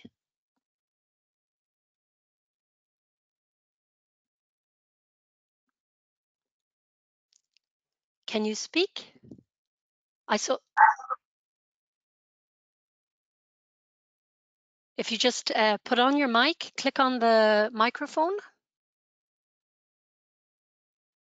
Can you hear me? Perfectly. Okay. Uh, thank you. Uh, first, I would like to thank uh, technical service for making this meeting uh, possible. Uh, thank you a lot to EDF team for uh, pushing the meeting with Mrs. Dalli, who I always done for her attention and support in today's session. we understand the difficult position she have sensibilized uh, other commis commissioners who are the chain of disability issue. in the resolution approved last plenary session, we are including people with disability, but uh, we would uh, would have liked to see more concrete point regarding this sector. Uh, however, we should take that resolution as a why uh, for the construction we, we will need after the global pandemic COVID-19. Uh, there is a note that Europe is responding to the whole crisis, but a more inclusive answer in terms of disability in all need because of the great impact uh, that it is the making in the in the co collective. Uh, that is uh, why the should be also included uh, in the recovery plan that uh, is being designing. So I uh, I suggest uh, consider the importance of the next point and taking them in account to guarantee the availability uh, of information in a simple language uh, and easy to understand them, as well as the simple access to uh, this information, automatic telephonic service without depending on website, etc. Um, it is compulsory the no discrimination of the person with disability in the medical service. Uh, there is a clear ethnic uh, white lie uh, about this. More, moreover, the authority have the duty of carry out the convention about the person with disability right of the UNO, especially the Article 11, re-situation and humanitarian emergencies. Uh, in the in in addition, uh, they must follow in the existing good practice uh, showed showed us. A the treatment priori priorities, like the victim selection, remember the fundamental ethnic ethic principle uh, that oblige the medical staff to ensure a correct triarchy, triarchy application using the resourcing in the better way. Any other selection criteria would be unacceptable and could be considered a human right violation. Uh, the support uh, program for people with disabilities show necessary have a gender scope due the violence against women and the, and the child increased during uh, the lockdown measure. Uh, more found uh, are needs for the provision of service and support. The European solidarity is compulsory to ensure strong essential service the implication of the people of the person with disability through their representative organization because they are ones who can provide better advice to the authority about how they can proceed. Uh, she, she should guarantee the marginalized and insolidarity people keep their support good and human essential contact. Support network and assistant dispositive in terms of economic health to ensure the people with disabilities still have their essential stuff. We should guarantee unemployment, insurance uh, schemes and protects minimum income among uh, other measures, should as a fiscal benefits and flexibility for payment and teleworking. Uh, otherwise, we must ensure measure to guarantee the uh, 100 uh, percentage of salary for worker. Uh, it must be uh, underlined in the EU recovery plan uh, essential attention to the recovery of the special job or adaptive adaptive jobs to ensure uh, the non-national protection for the United Nations, so the state member should give a correct attention without any uh, discrimination for nationality reason. Uh, thank you very much. Uh, sorry, but my English is very, very bad, but I try to speak in English uh, and I hope uh, you understand.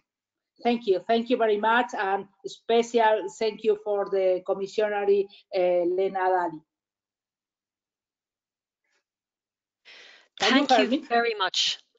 Yes, I just want to interrupt slightly the inputs that we have from uh, members of the European Parliament because I need to give the floor, because of the timing of our meeting, I need to give the floor to uh, the Commissioner for Equality, Commissioner Dalli, to respond to some of the issues which have been raised, because within 10 minutes she will need to leave. So I, I am sorry that I, I break up the rhythm of, of the inputs at the moment.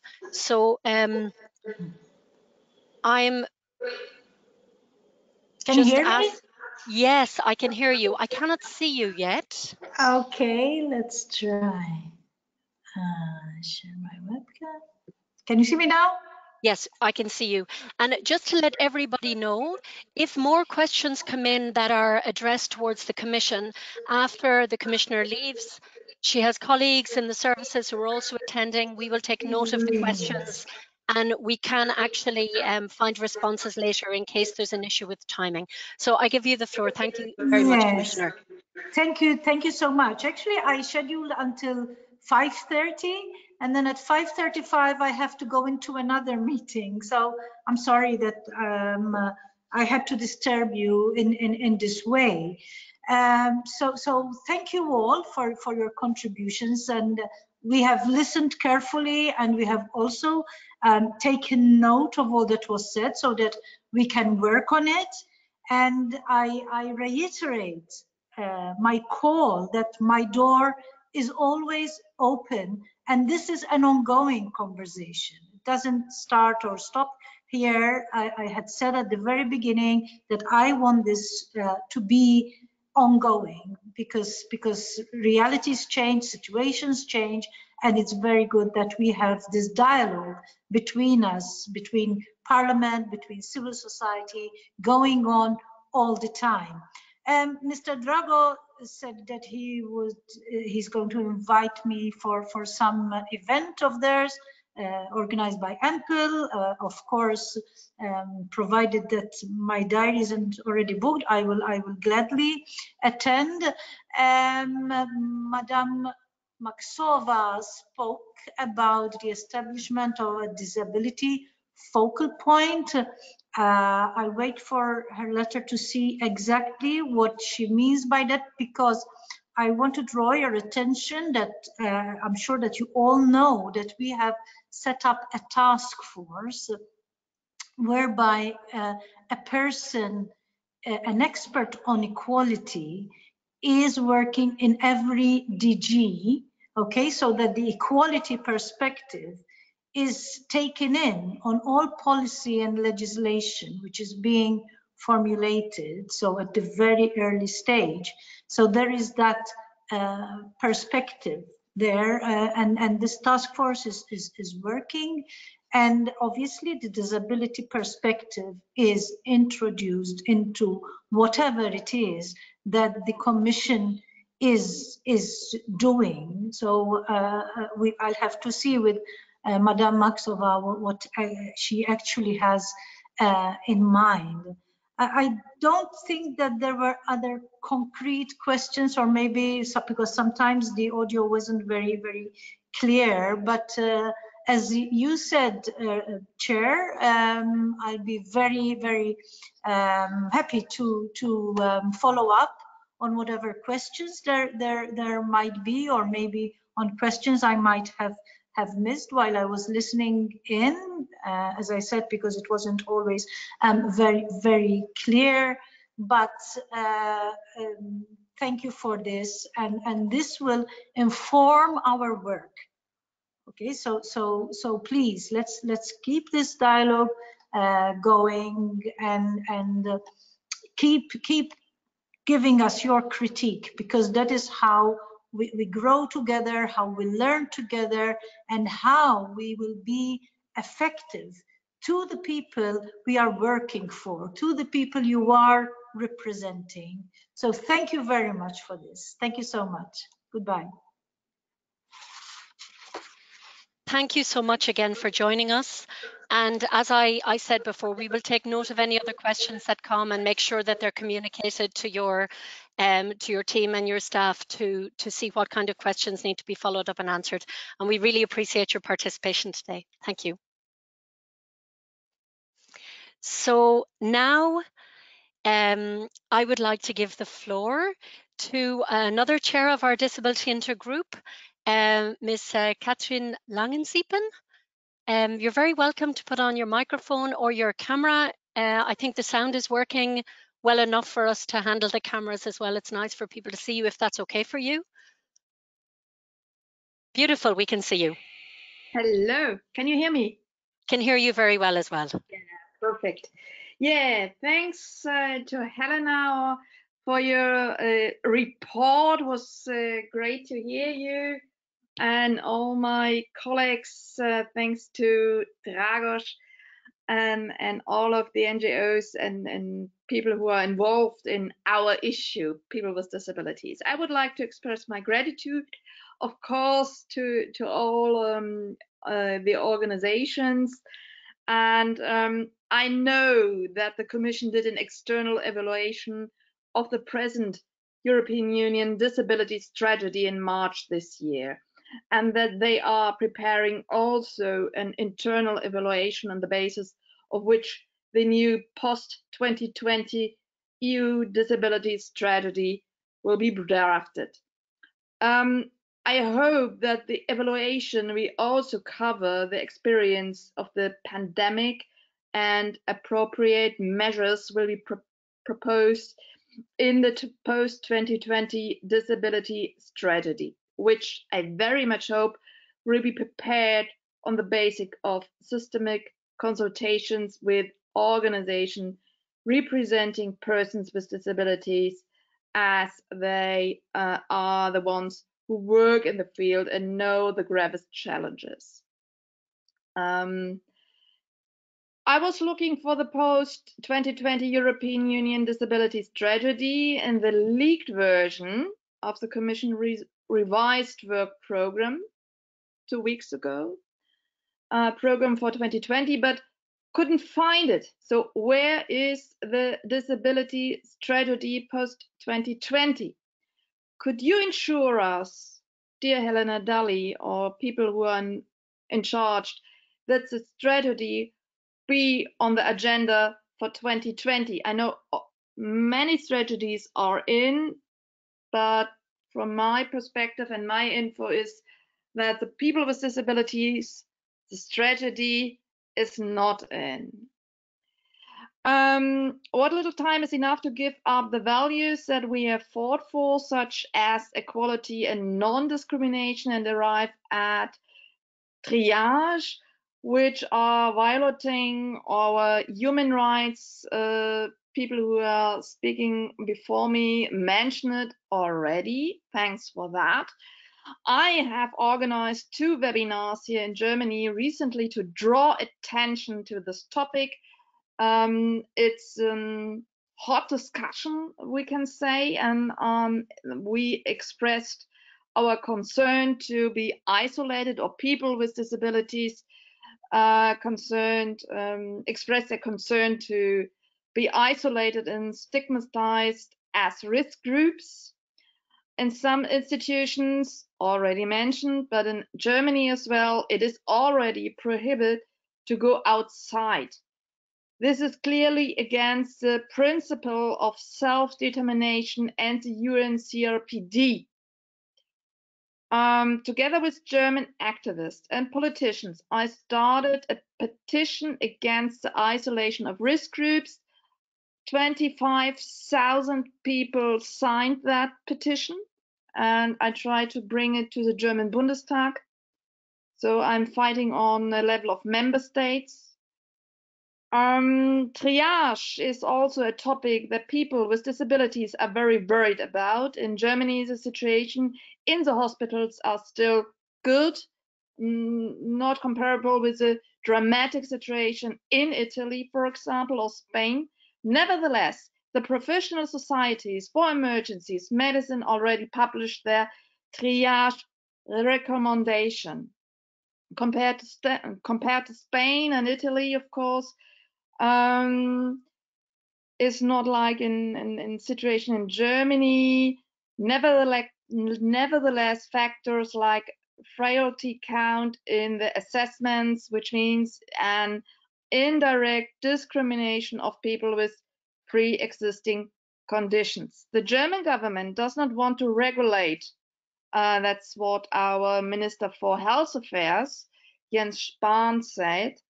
Uh, he doesn't want to regulate any triage decisions, so that the weight lies on these illegal recommendations we organized a webinar with the authors of triage recommendations, doctors, experts, professors, who tried to reassure our audience that the decisions would always be taken individually. Nevertheless, the fear remains. So that's our fight here in Germany. And we have to make it clear on the European level that triage or isolation of people with disabilities or diseases um, is against UNCRPD. Thank you. Thank you so much also for the detailed uh, update from what you're doing in Germany, um, Catherine. I would give the floor now, if uh, you are ready, um, to uh, another member of our Disability Intergroup Bureau, Ms. Rosa Estaràs. Um, Rosa, are you able to put on your mic or your camera? Yes, yes. Can you help? Uh, can you hear me? I can hear you, but you're a little quiet. Yes, I, I, uh, now, now it's good. I'm checking now. I'm actually also looking at our sign language interpreter to see if she can hear you enough. Yes, but is um, I, I I have put the sound in maximum.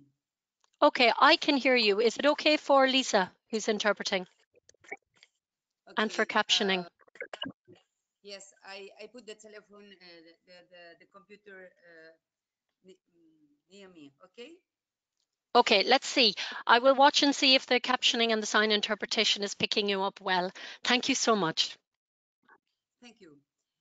Good afternoon. I would like to thank uh, EDF, especially uh, Catherine, for organizing this necessary meeting, and the main Spanish organization, Fermian Once, with whom I have had various meetings in the past weeks. Despite the difficult situation we're in, from their homes, they are doing an extraordinary job in defending the rights of people with disabilities. In this debate, I would like to highlight four priority issues. First of all, and unfortunately, the coronavirus crisis has intensified discrimination against people with disabilities, especially on equal access to health care.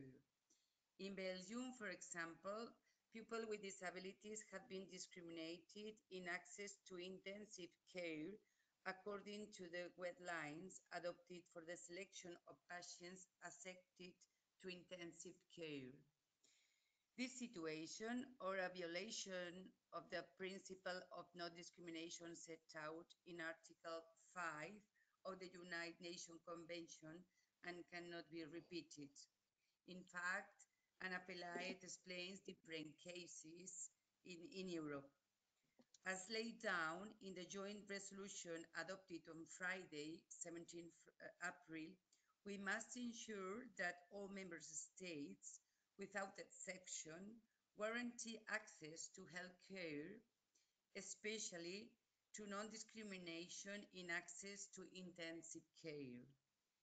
Secondly, we must pay particular attention to the institutionalization of people with disabilities, people living in residential institutions or at higher risk of infection and in many cases have not had access to health services.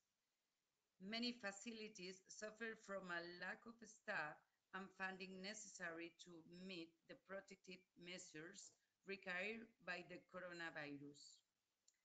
Thirdly, I would like to address the very important use uh, of gender-based violence. Ana Peláez has explained too. In Spain, we have suffered an increase of cases of gender-based violence, which particularly affects girls and women with disabilities. During confinement, it becomes more difficult to file a complaint or to ask for help, which is why the situation has worsened.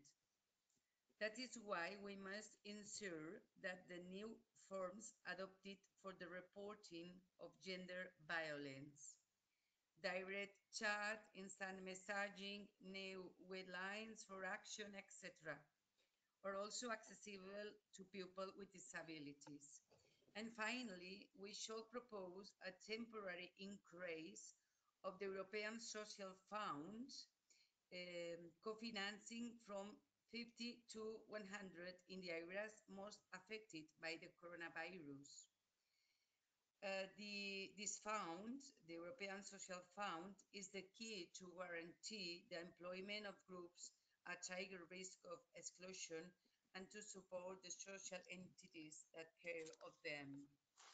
People with, with disabilities must be a priority in the management of the coronavirus crisis now and in the recovery period where we will have to face terrible social and economic consequences. Now, uh, more than ever, we must fight together to guarantee the rights of people with disabilities in the 27 member states. Thank you very much, Catherine, again, and thank you very much all the members of this of this seminary. Thank you. Thank you so much, um, Rosa, for your intervention. And um, I would like to give the floor now to our next member of the European Parliament, also in our intergroup, um, Ms. Uh, Chrysoula Zacharopoulou. Um, perfect, I can see you. Oh, I can't hear you. Let's see. Now I can I can I can see you, but I don't have sound yet. Okay, now? Beautiful, perfect. Thank you.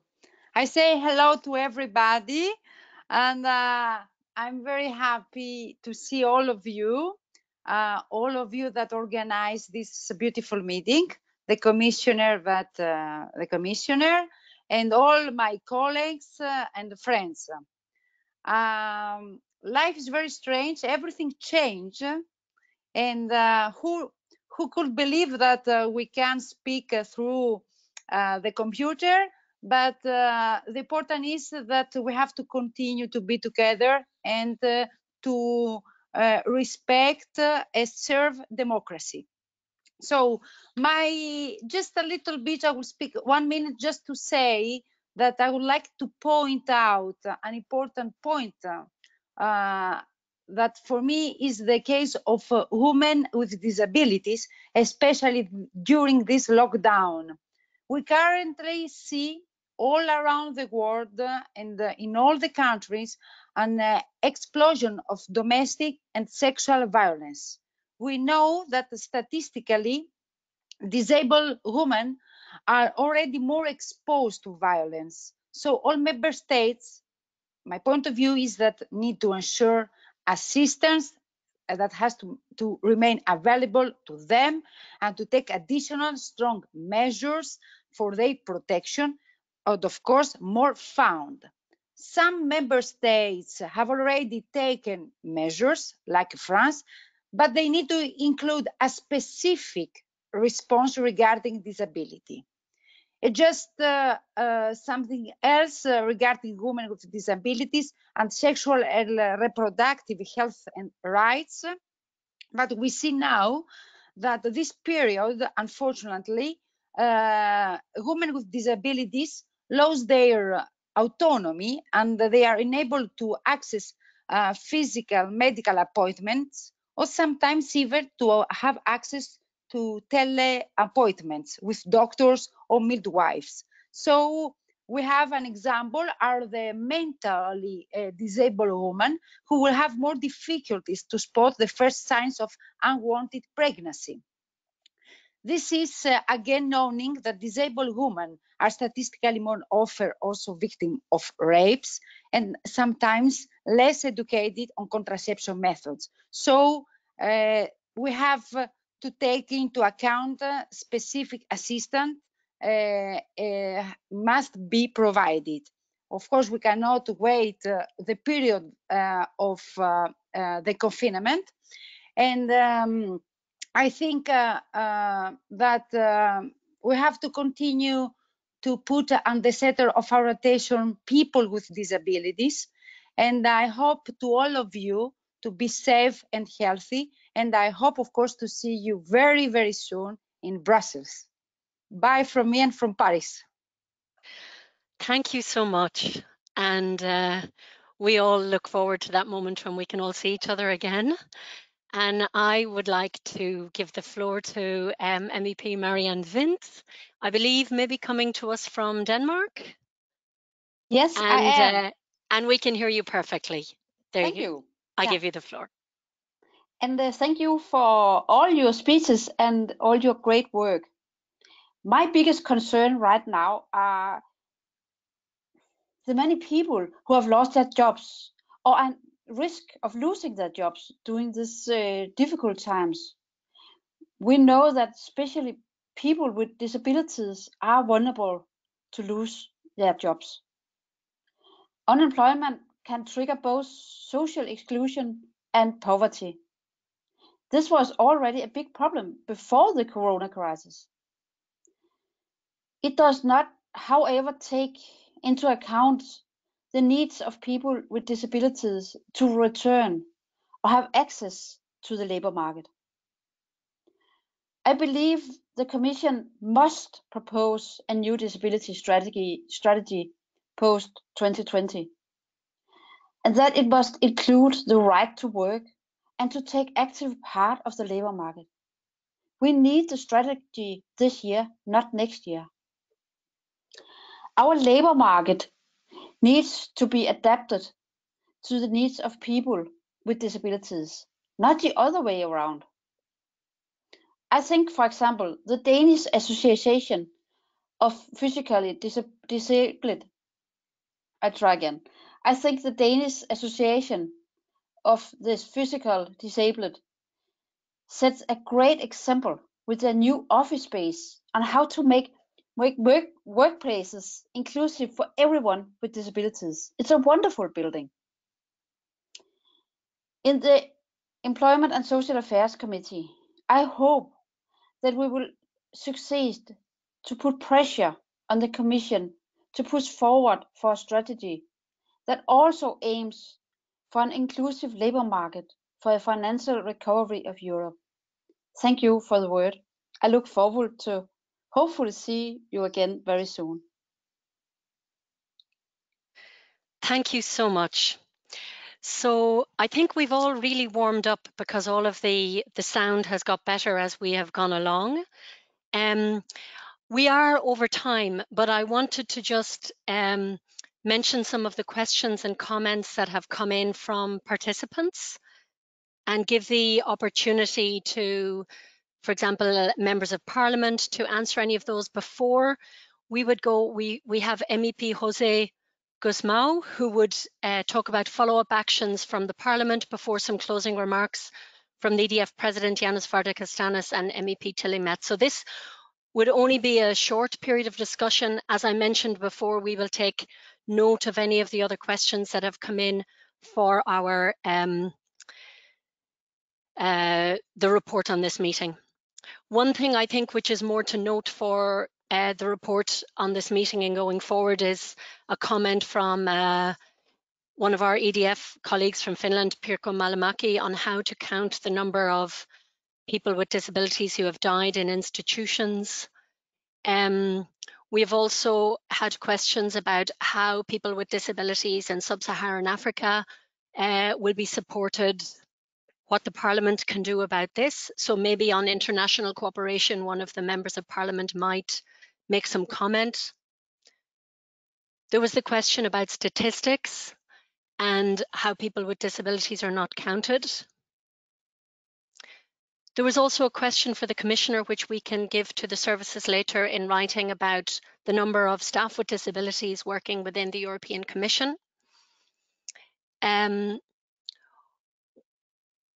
we also have a very specific question about the situation of people with assistance dogs and how they are being uh, treated during this COVID-19 crisis.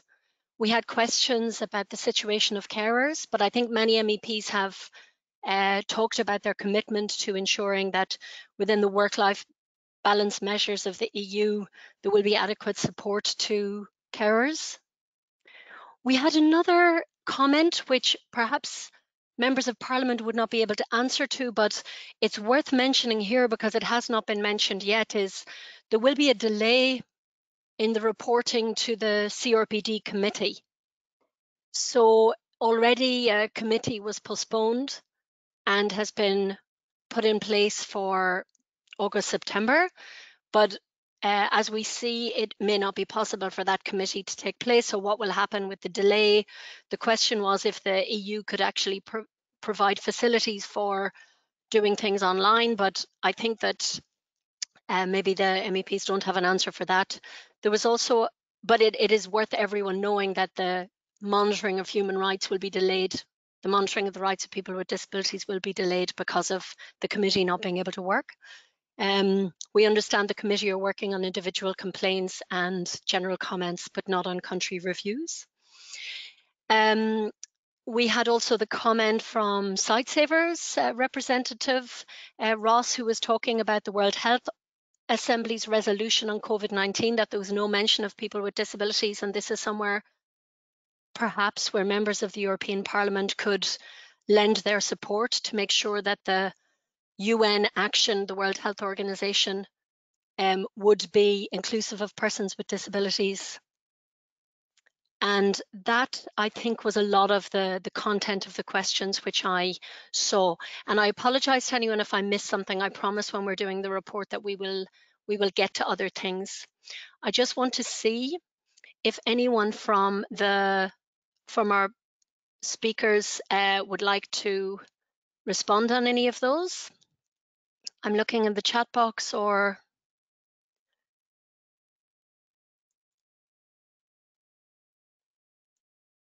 So maybe what I can do, if none of the um, members of parliament or other speakers want to respond, it may be anyway better for our audience. Oh, I see a hand up. Um, it may be anyway better for our audience if we were, um, if we moved on and, and replied in writing to the, the different questions. So with uh, that, excuse me. oh yes. Yes, I'm Chris. Um, Oh, wonderful, go ahead. uh, I wanted to, to speak about, you know, you spoke about Africa, no? Uh, and the Yes. people with disabilities. Yes. I, I am the reporter for the new strategy uh, for the European Parliament, Europe and Africa. Wonderful. And uh, when I travel, uh, I met people with disabilities. And uh, in uh, the chapter, you know, of, for this uh, new strategy um, uh, for the parliament, I think, uh, uh, not I think, I'm sure, but I will uh, write something because uh, there is, um, there I met people that of course they have difficult, uh, they, they live in difficult situation, but I found also I met people with a lot of courage. So yes, it is part of uh, the new strategy um, that we have to underline that people with disabilities also in Africa uh, have the same rights. I am delighted to hear that you're the rapporteur from the Parliament for that particular um, issue because this is something that uh, the European Disability Forum, together with the Africa Disability Forum and DPOs in Africa, would be very happy to give you input on. So this is wonderful news. Thank you for letting us know about that and for responding on the question. Is there anyone else from the um, panelists who would like to make any response on anything before I would give the floor to José Gusmão? I think with that, I will give you the floor, um, Mr. Gusmão. Uh, thank you so much for um, joining us uh, today to talk about the follow-up actions from the, the Parliament. I'll give you, can you speak just so I can hear you? Hi, uh, yeah, I Wonderful. hope you can hear me. Uh, does it work? Yes, Okay, very so uh, uh, very quickly to to some action proposals. Uh, first of all, concerning the disability resolution and uh, the the plenary session in May, uh, I think that the- the concerns about adding resolutions to this session um, are related to the fact that we have a, a, a bunch of discharge files already being voted. But I think we should put some pressure around the disability strategy, and we should uh, point out that uh, the COVID impact makes it even more urgent to vote and approve these uh, this uh, uh, resolution so that the, these citizens are not left even more unprotected as we've uh, as we've seen that they are.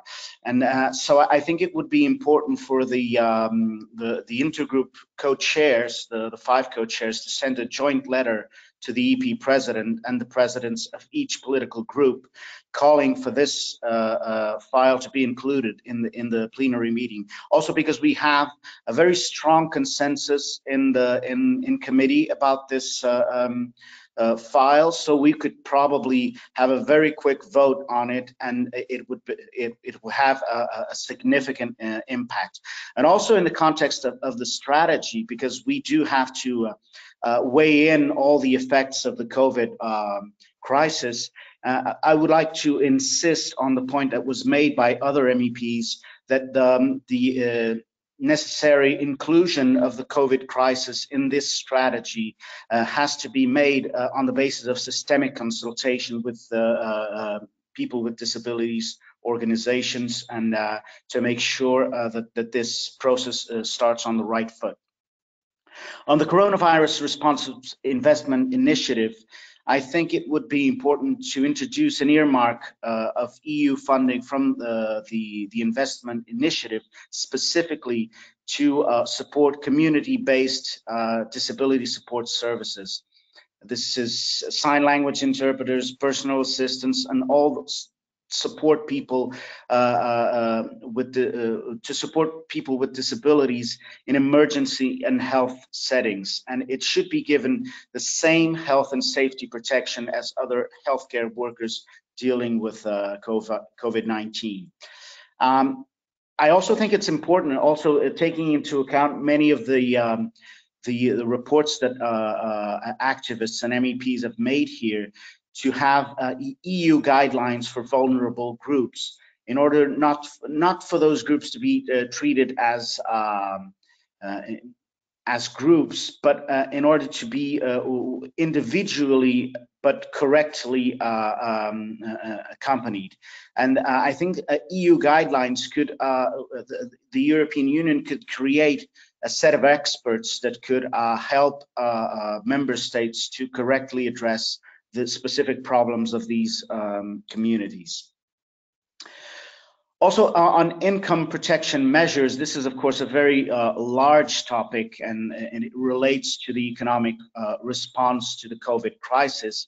But in any case, uh, whatever the responses uh, come to be, it is important to uh, address the issue of income loss for pe people with disabilities because they are um, affected in a more serious way by uh, income loss due to unemployment, uh, layoff schemes, and uh, uh so we need to make sure that the, um, that these groups are protected uh, from those kinds of um, um, causes for income loss as as the economic crisis uh,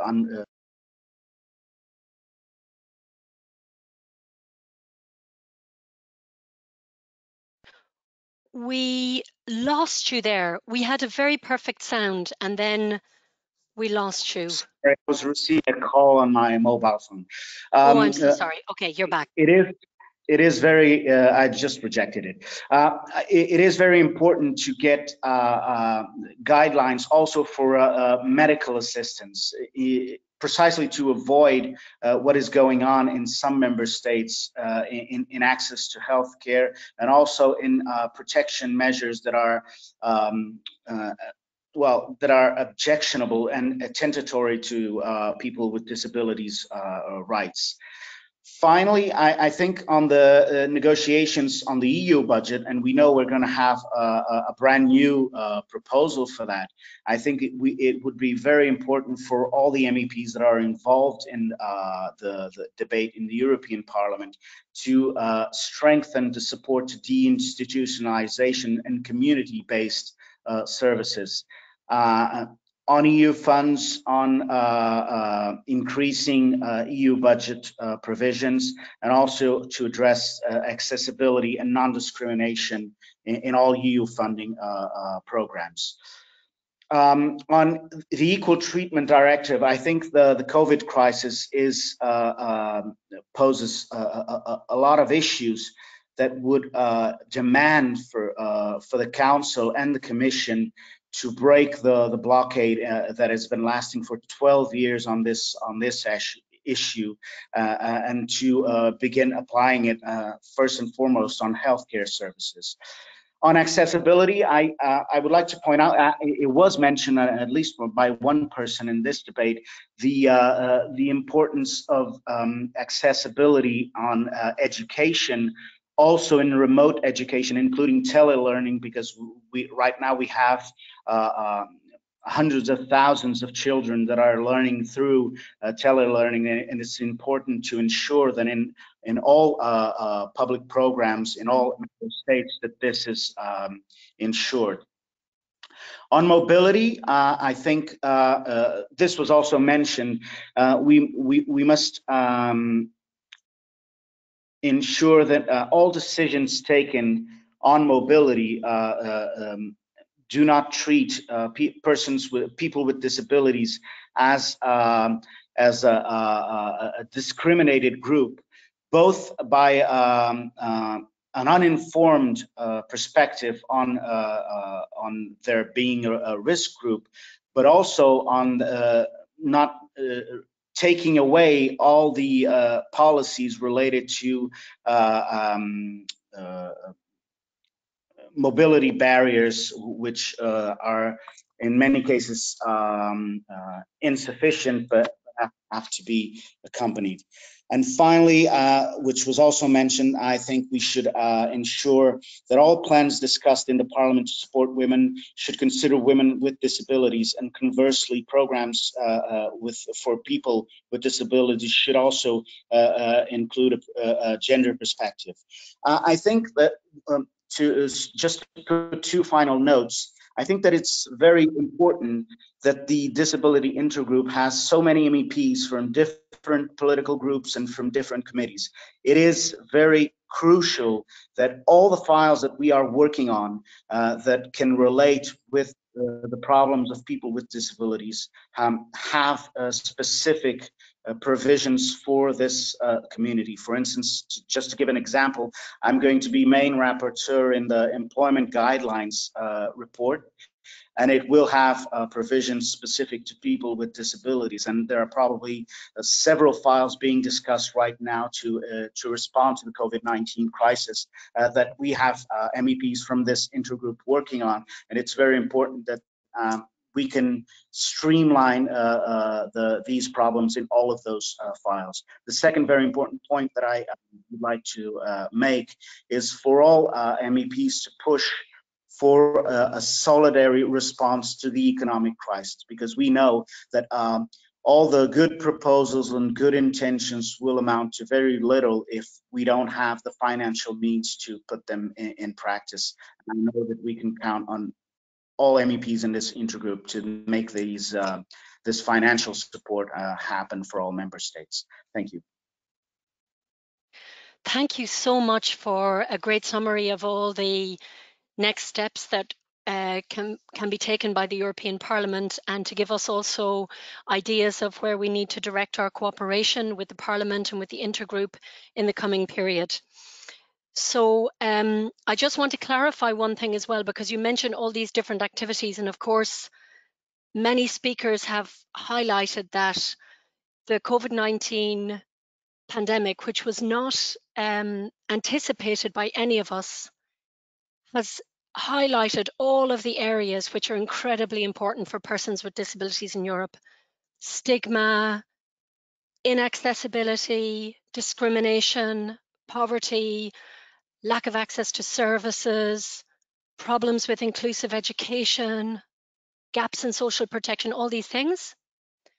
And as the Commissioner for Equality mentioned, there is foreseen the adoption of a strengthened European disability strategy next year. It was asked during this call uh, why it wasn't on the work programme this year, but we know that the Commission is working on it actively this year and that it will be scheduled and included in the work programme next year. So these, this will all give us uh, more opportunity to input with very important data about the situation of people with disabilities in Europe today to inform the Commission's next strategy. So I just want to then um, give the floor for closing remarks. I promised to all our participants uh, that we're very nearly coming to the end. So I was first going to ask um, Yannis Vardakastanis, our president of EDF, to retake the floor for some closing remarks. Nice to see you, Yannis. Thank you, Catherine. Perfect. We can thank hear you. you for, thank you for organizing this very important debate uh, today. You and your colleagues and all the members of the Disability Intergroup uh, Bureau. There is no question that historically this period draws a line between before the crisis and after the crisis. Socially, economically, financially, politically, hygienically, the aftermath will be completely different. a return to the realities before the crisis will be difficult, if not impossible. And therefore, whatever we do, whatever we say from the institutions, from the disability movement, should be aiming to be useful and not pleasant. And that means that we cannot and should not address the reconstruction, in my opinion, and not the recovery period, the reconstruction of the European Union, of European societies and economies in a way that is inclusive, inclusive of all. Otherwise, the European project will fail, will fail completely. And all of you know that I am a born politically European and that the disability movement is a very pro-European movement. And we have fought for this in all member states. And I would like from this very important meeting today to send a very strong message throughout the Union to the leaders of the institutions, to the heads of the member states, to all. The disability movement will be, is already, on a continuous advocacy campaign because now we are not dealing with a financial crisis as before. We are dealing with a crisis that we lose people. People die. And those that die need to be justified in the future, that they bring a real change, even with their deaths, to societies for persons with disabilities. We need a very robust approach from the institutions. We need a European disability strategy that will make the difference. In my opinion, there is no justification for not including the European Disability Strategy in the program of the Commission this year. After all, COVID-19 has changed the program of the Commission this year. And therefore, all the initiatives that are taken for the reconstruction period should include persons with disabilities in the funding, in the political, in the social approach. We need a very strong disability rights guarantee.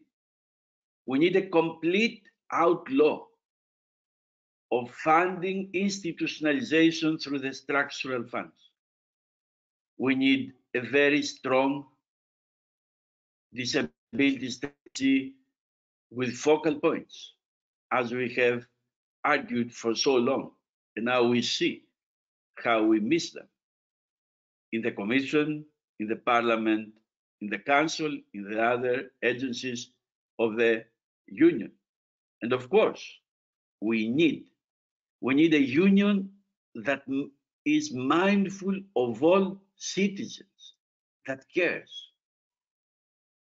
The Commission should include immediately in the COVID-19 task force Commissioners, Commissioner Dalli and Commissioner Schmit. How come the Equality Commissioner and the Social Affairs Commissioner are not members of the task force? The Commission should take initiative towards the member states. Letters are good, but letters do not guarantee rights. They need to take initiatives now. The parliament has to take initiatives now. The political groups in the parliament should ask their governments in the member states to be very active in the council supporting a new robust approach to disability rights. We have lost people. We should know we should never forget this. This is a situation that has not happened after the Second World War. We have lost people. We are losing people. People are, are dying. We should never forget this. And I guarantee, as long as I'm present in EDF, that this will never be forgotten. Thank you. Thank you so much, Yannis, for your closing words, your closing remarks. Um, I would like to give the floor to um, MEP Tilly Metz from Luxembourg, who will give us the closing remarks on behalf of the intergroup. She's also a member of our bureau. I'm just waiting. Ah, yeah, perfect. I can see you perfectly. Okay. Do you hear me also? I can hear you also very well. Thank you. Great. I'm trying to be short because I know we are over time. Um, so I, am going ahead. Dear colleagues, uh, dear friends from the European Disability Forum, now on behalf of the Disability Intergroup Bureau, thank you very much to all the participation of today's meeting I am sure all my colleague Mads and the Intergroup Secretariat have taken a lot of notes. I've taken four pages. So, uh, and the president of the EDF said it already, it's an historic moment. And it's from now on uh, that we have to decide the direction that we are going to take from now on on the society that we want afterwards. We have heard really about a lot of uh, dreadful situation of large residential institutions, which really have become the hotspot of infection and of deaths, with no resources and no real help from public authorities. I remember now one situation of Romania, what was told, where the staff was told to leave, to leave the people alone and uh, that they would test, that they get the equipment, but not the people with disability. So older persons and also persons with disability in this institution were very often forgotten, we've heard it, and left on their own. We must no longer push persons with disability to live in these large residential centers. We must invest EU funds in supporting independent living and community-based services. But even there, we have heard from our colleague from France, Albert Prévos, who told us that even people who live on their own at home didn't get anymore the home help they need, the recurrent health care that they need. So also there were problems. The recovery plans must really also reflect this paradigm shift by supporting these services and the living conditions of persons with disability. We've spoken a lot now in the European Parliament about the Green Deal and about a Green uh, Deal that has to come and also the digitalization challenges. But we would never forget, we should never forget that we need also, and this crisis showed it, a more accessible and inclusive society. We really have, and I'm just pointing out a few points that we have for the next sanitary crisis I, of course, we have to try to prevent another crisis, but let's be realistic. I think we have to need a real action plan, especially for people with disabilities, so that we have a more inclusive approach, that they have access to treatment, to care. But we also heard from my colleagues that they need to have access to goods. They need to have access to psychological support we have some of my colleagues, Ana and Chris um, they mentioned also the violence and the harassment against women, women with disabilities. And what's more, if women with disabilities are also in socio-economic problems, then there's another problem is coming there. We need also have a good access, and a lot of my colleagues were telling it, a good access to information but not only people with a disability need good access to information, but also the professionals. And we heard of my colleague José Gusmão who was speaking of EU guidelines for the people. And then there was another important topic is what children with disability, and it was mentioned several times that they also need to have uh, a right to education online, not that the gap between the other children even gets bigger. So we also have, in this terrible crisis, we can make also one of the conclusion is the urgent need for European discrimin anti-discrimination legislation. Today, we really heard about cases of persons with disability being deprioritized or directly, directly denied the necessary health care because of their disability. This is absolutely shameful for the European Union. And I hope events like this, so important, one can bring us all together to make this unavoidable and also in the future, I think, and I was happy about some uh, events, also some um, future actions the Commissioner Dalli was taking. She spoke about this equality person who is there in every DG. She spoke about the importance of the dialogue and also her commitment in order that uh, things are changing.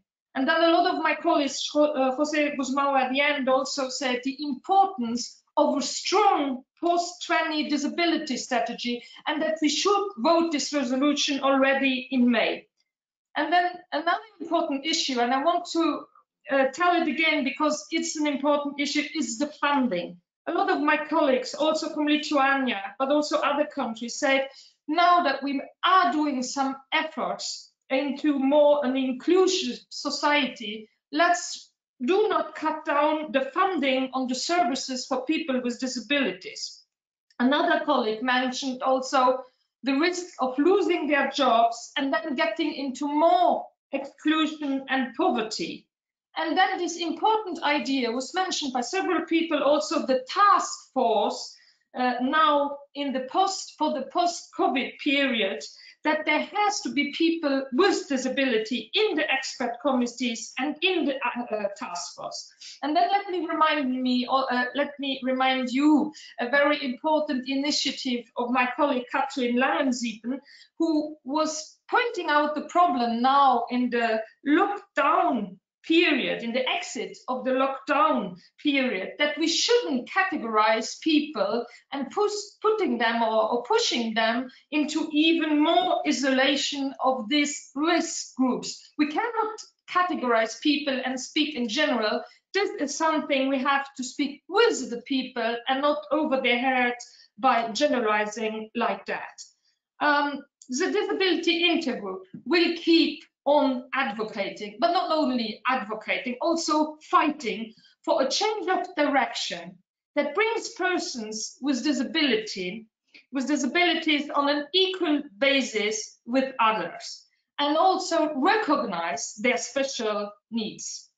We already appreciate very much all of your help by bringing to the EU debate your experiences. Also, I found it very interesting, the, info, the information we got from these different countries. But we need more. We really need to do an evaluation and assessment and really a debriefing what all we have learned from this crisis concerning especially the situation uh, for persons with disability. And we do as Intergroup really the commitment as an Intergroup to keep involving you in all these measures and all the policies we have to think also of the situation of people with disability. Once again, and I wanted to be short, once again, thank you very much for the participation and all your work.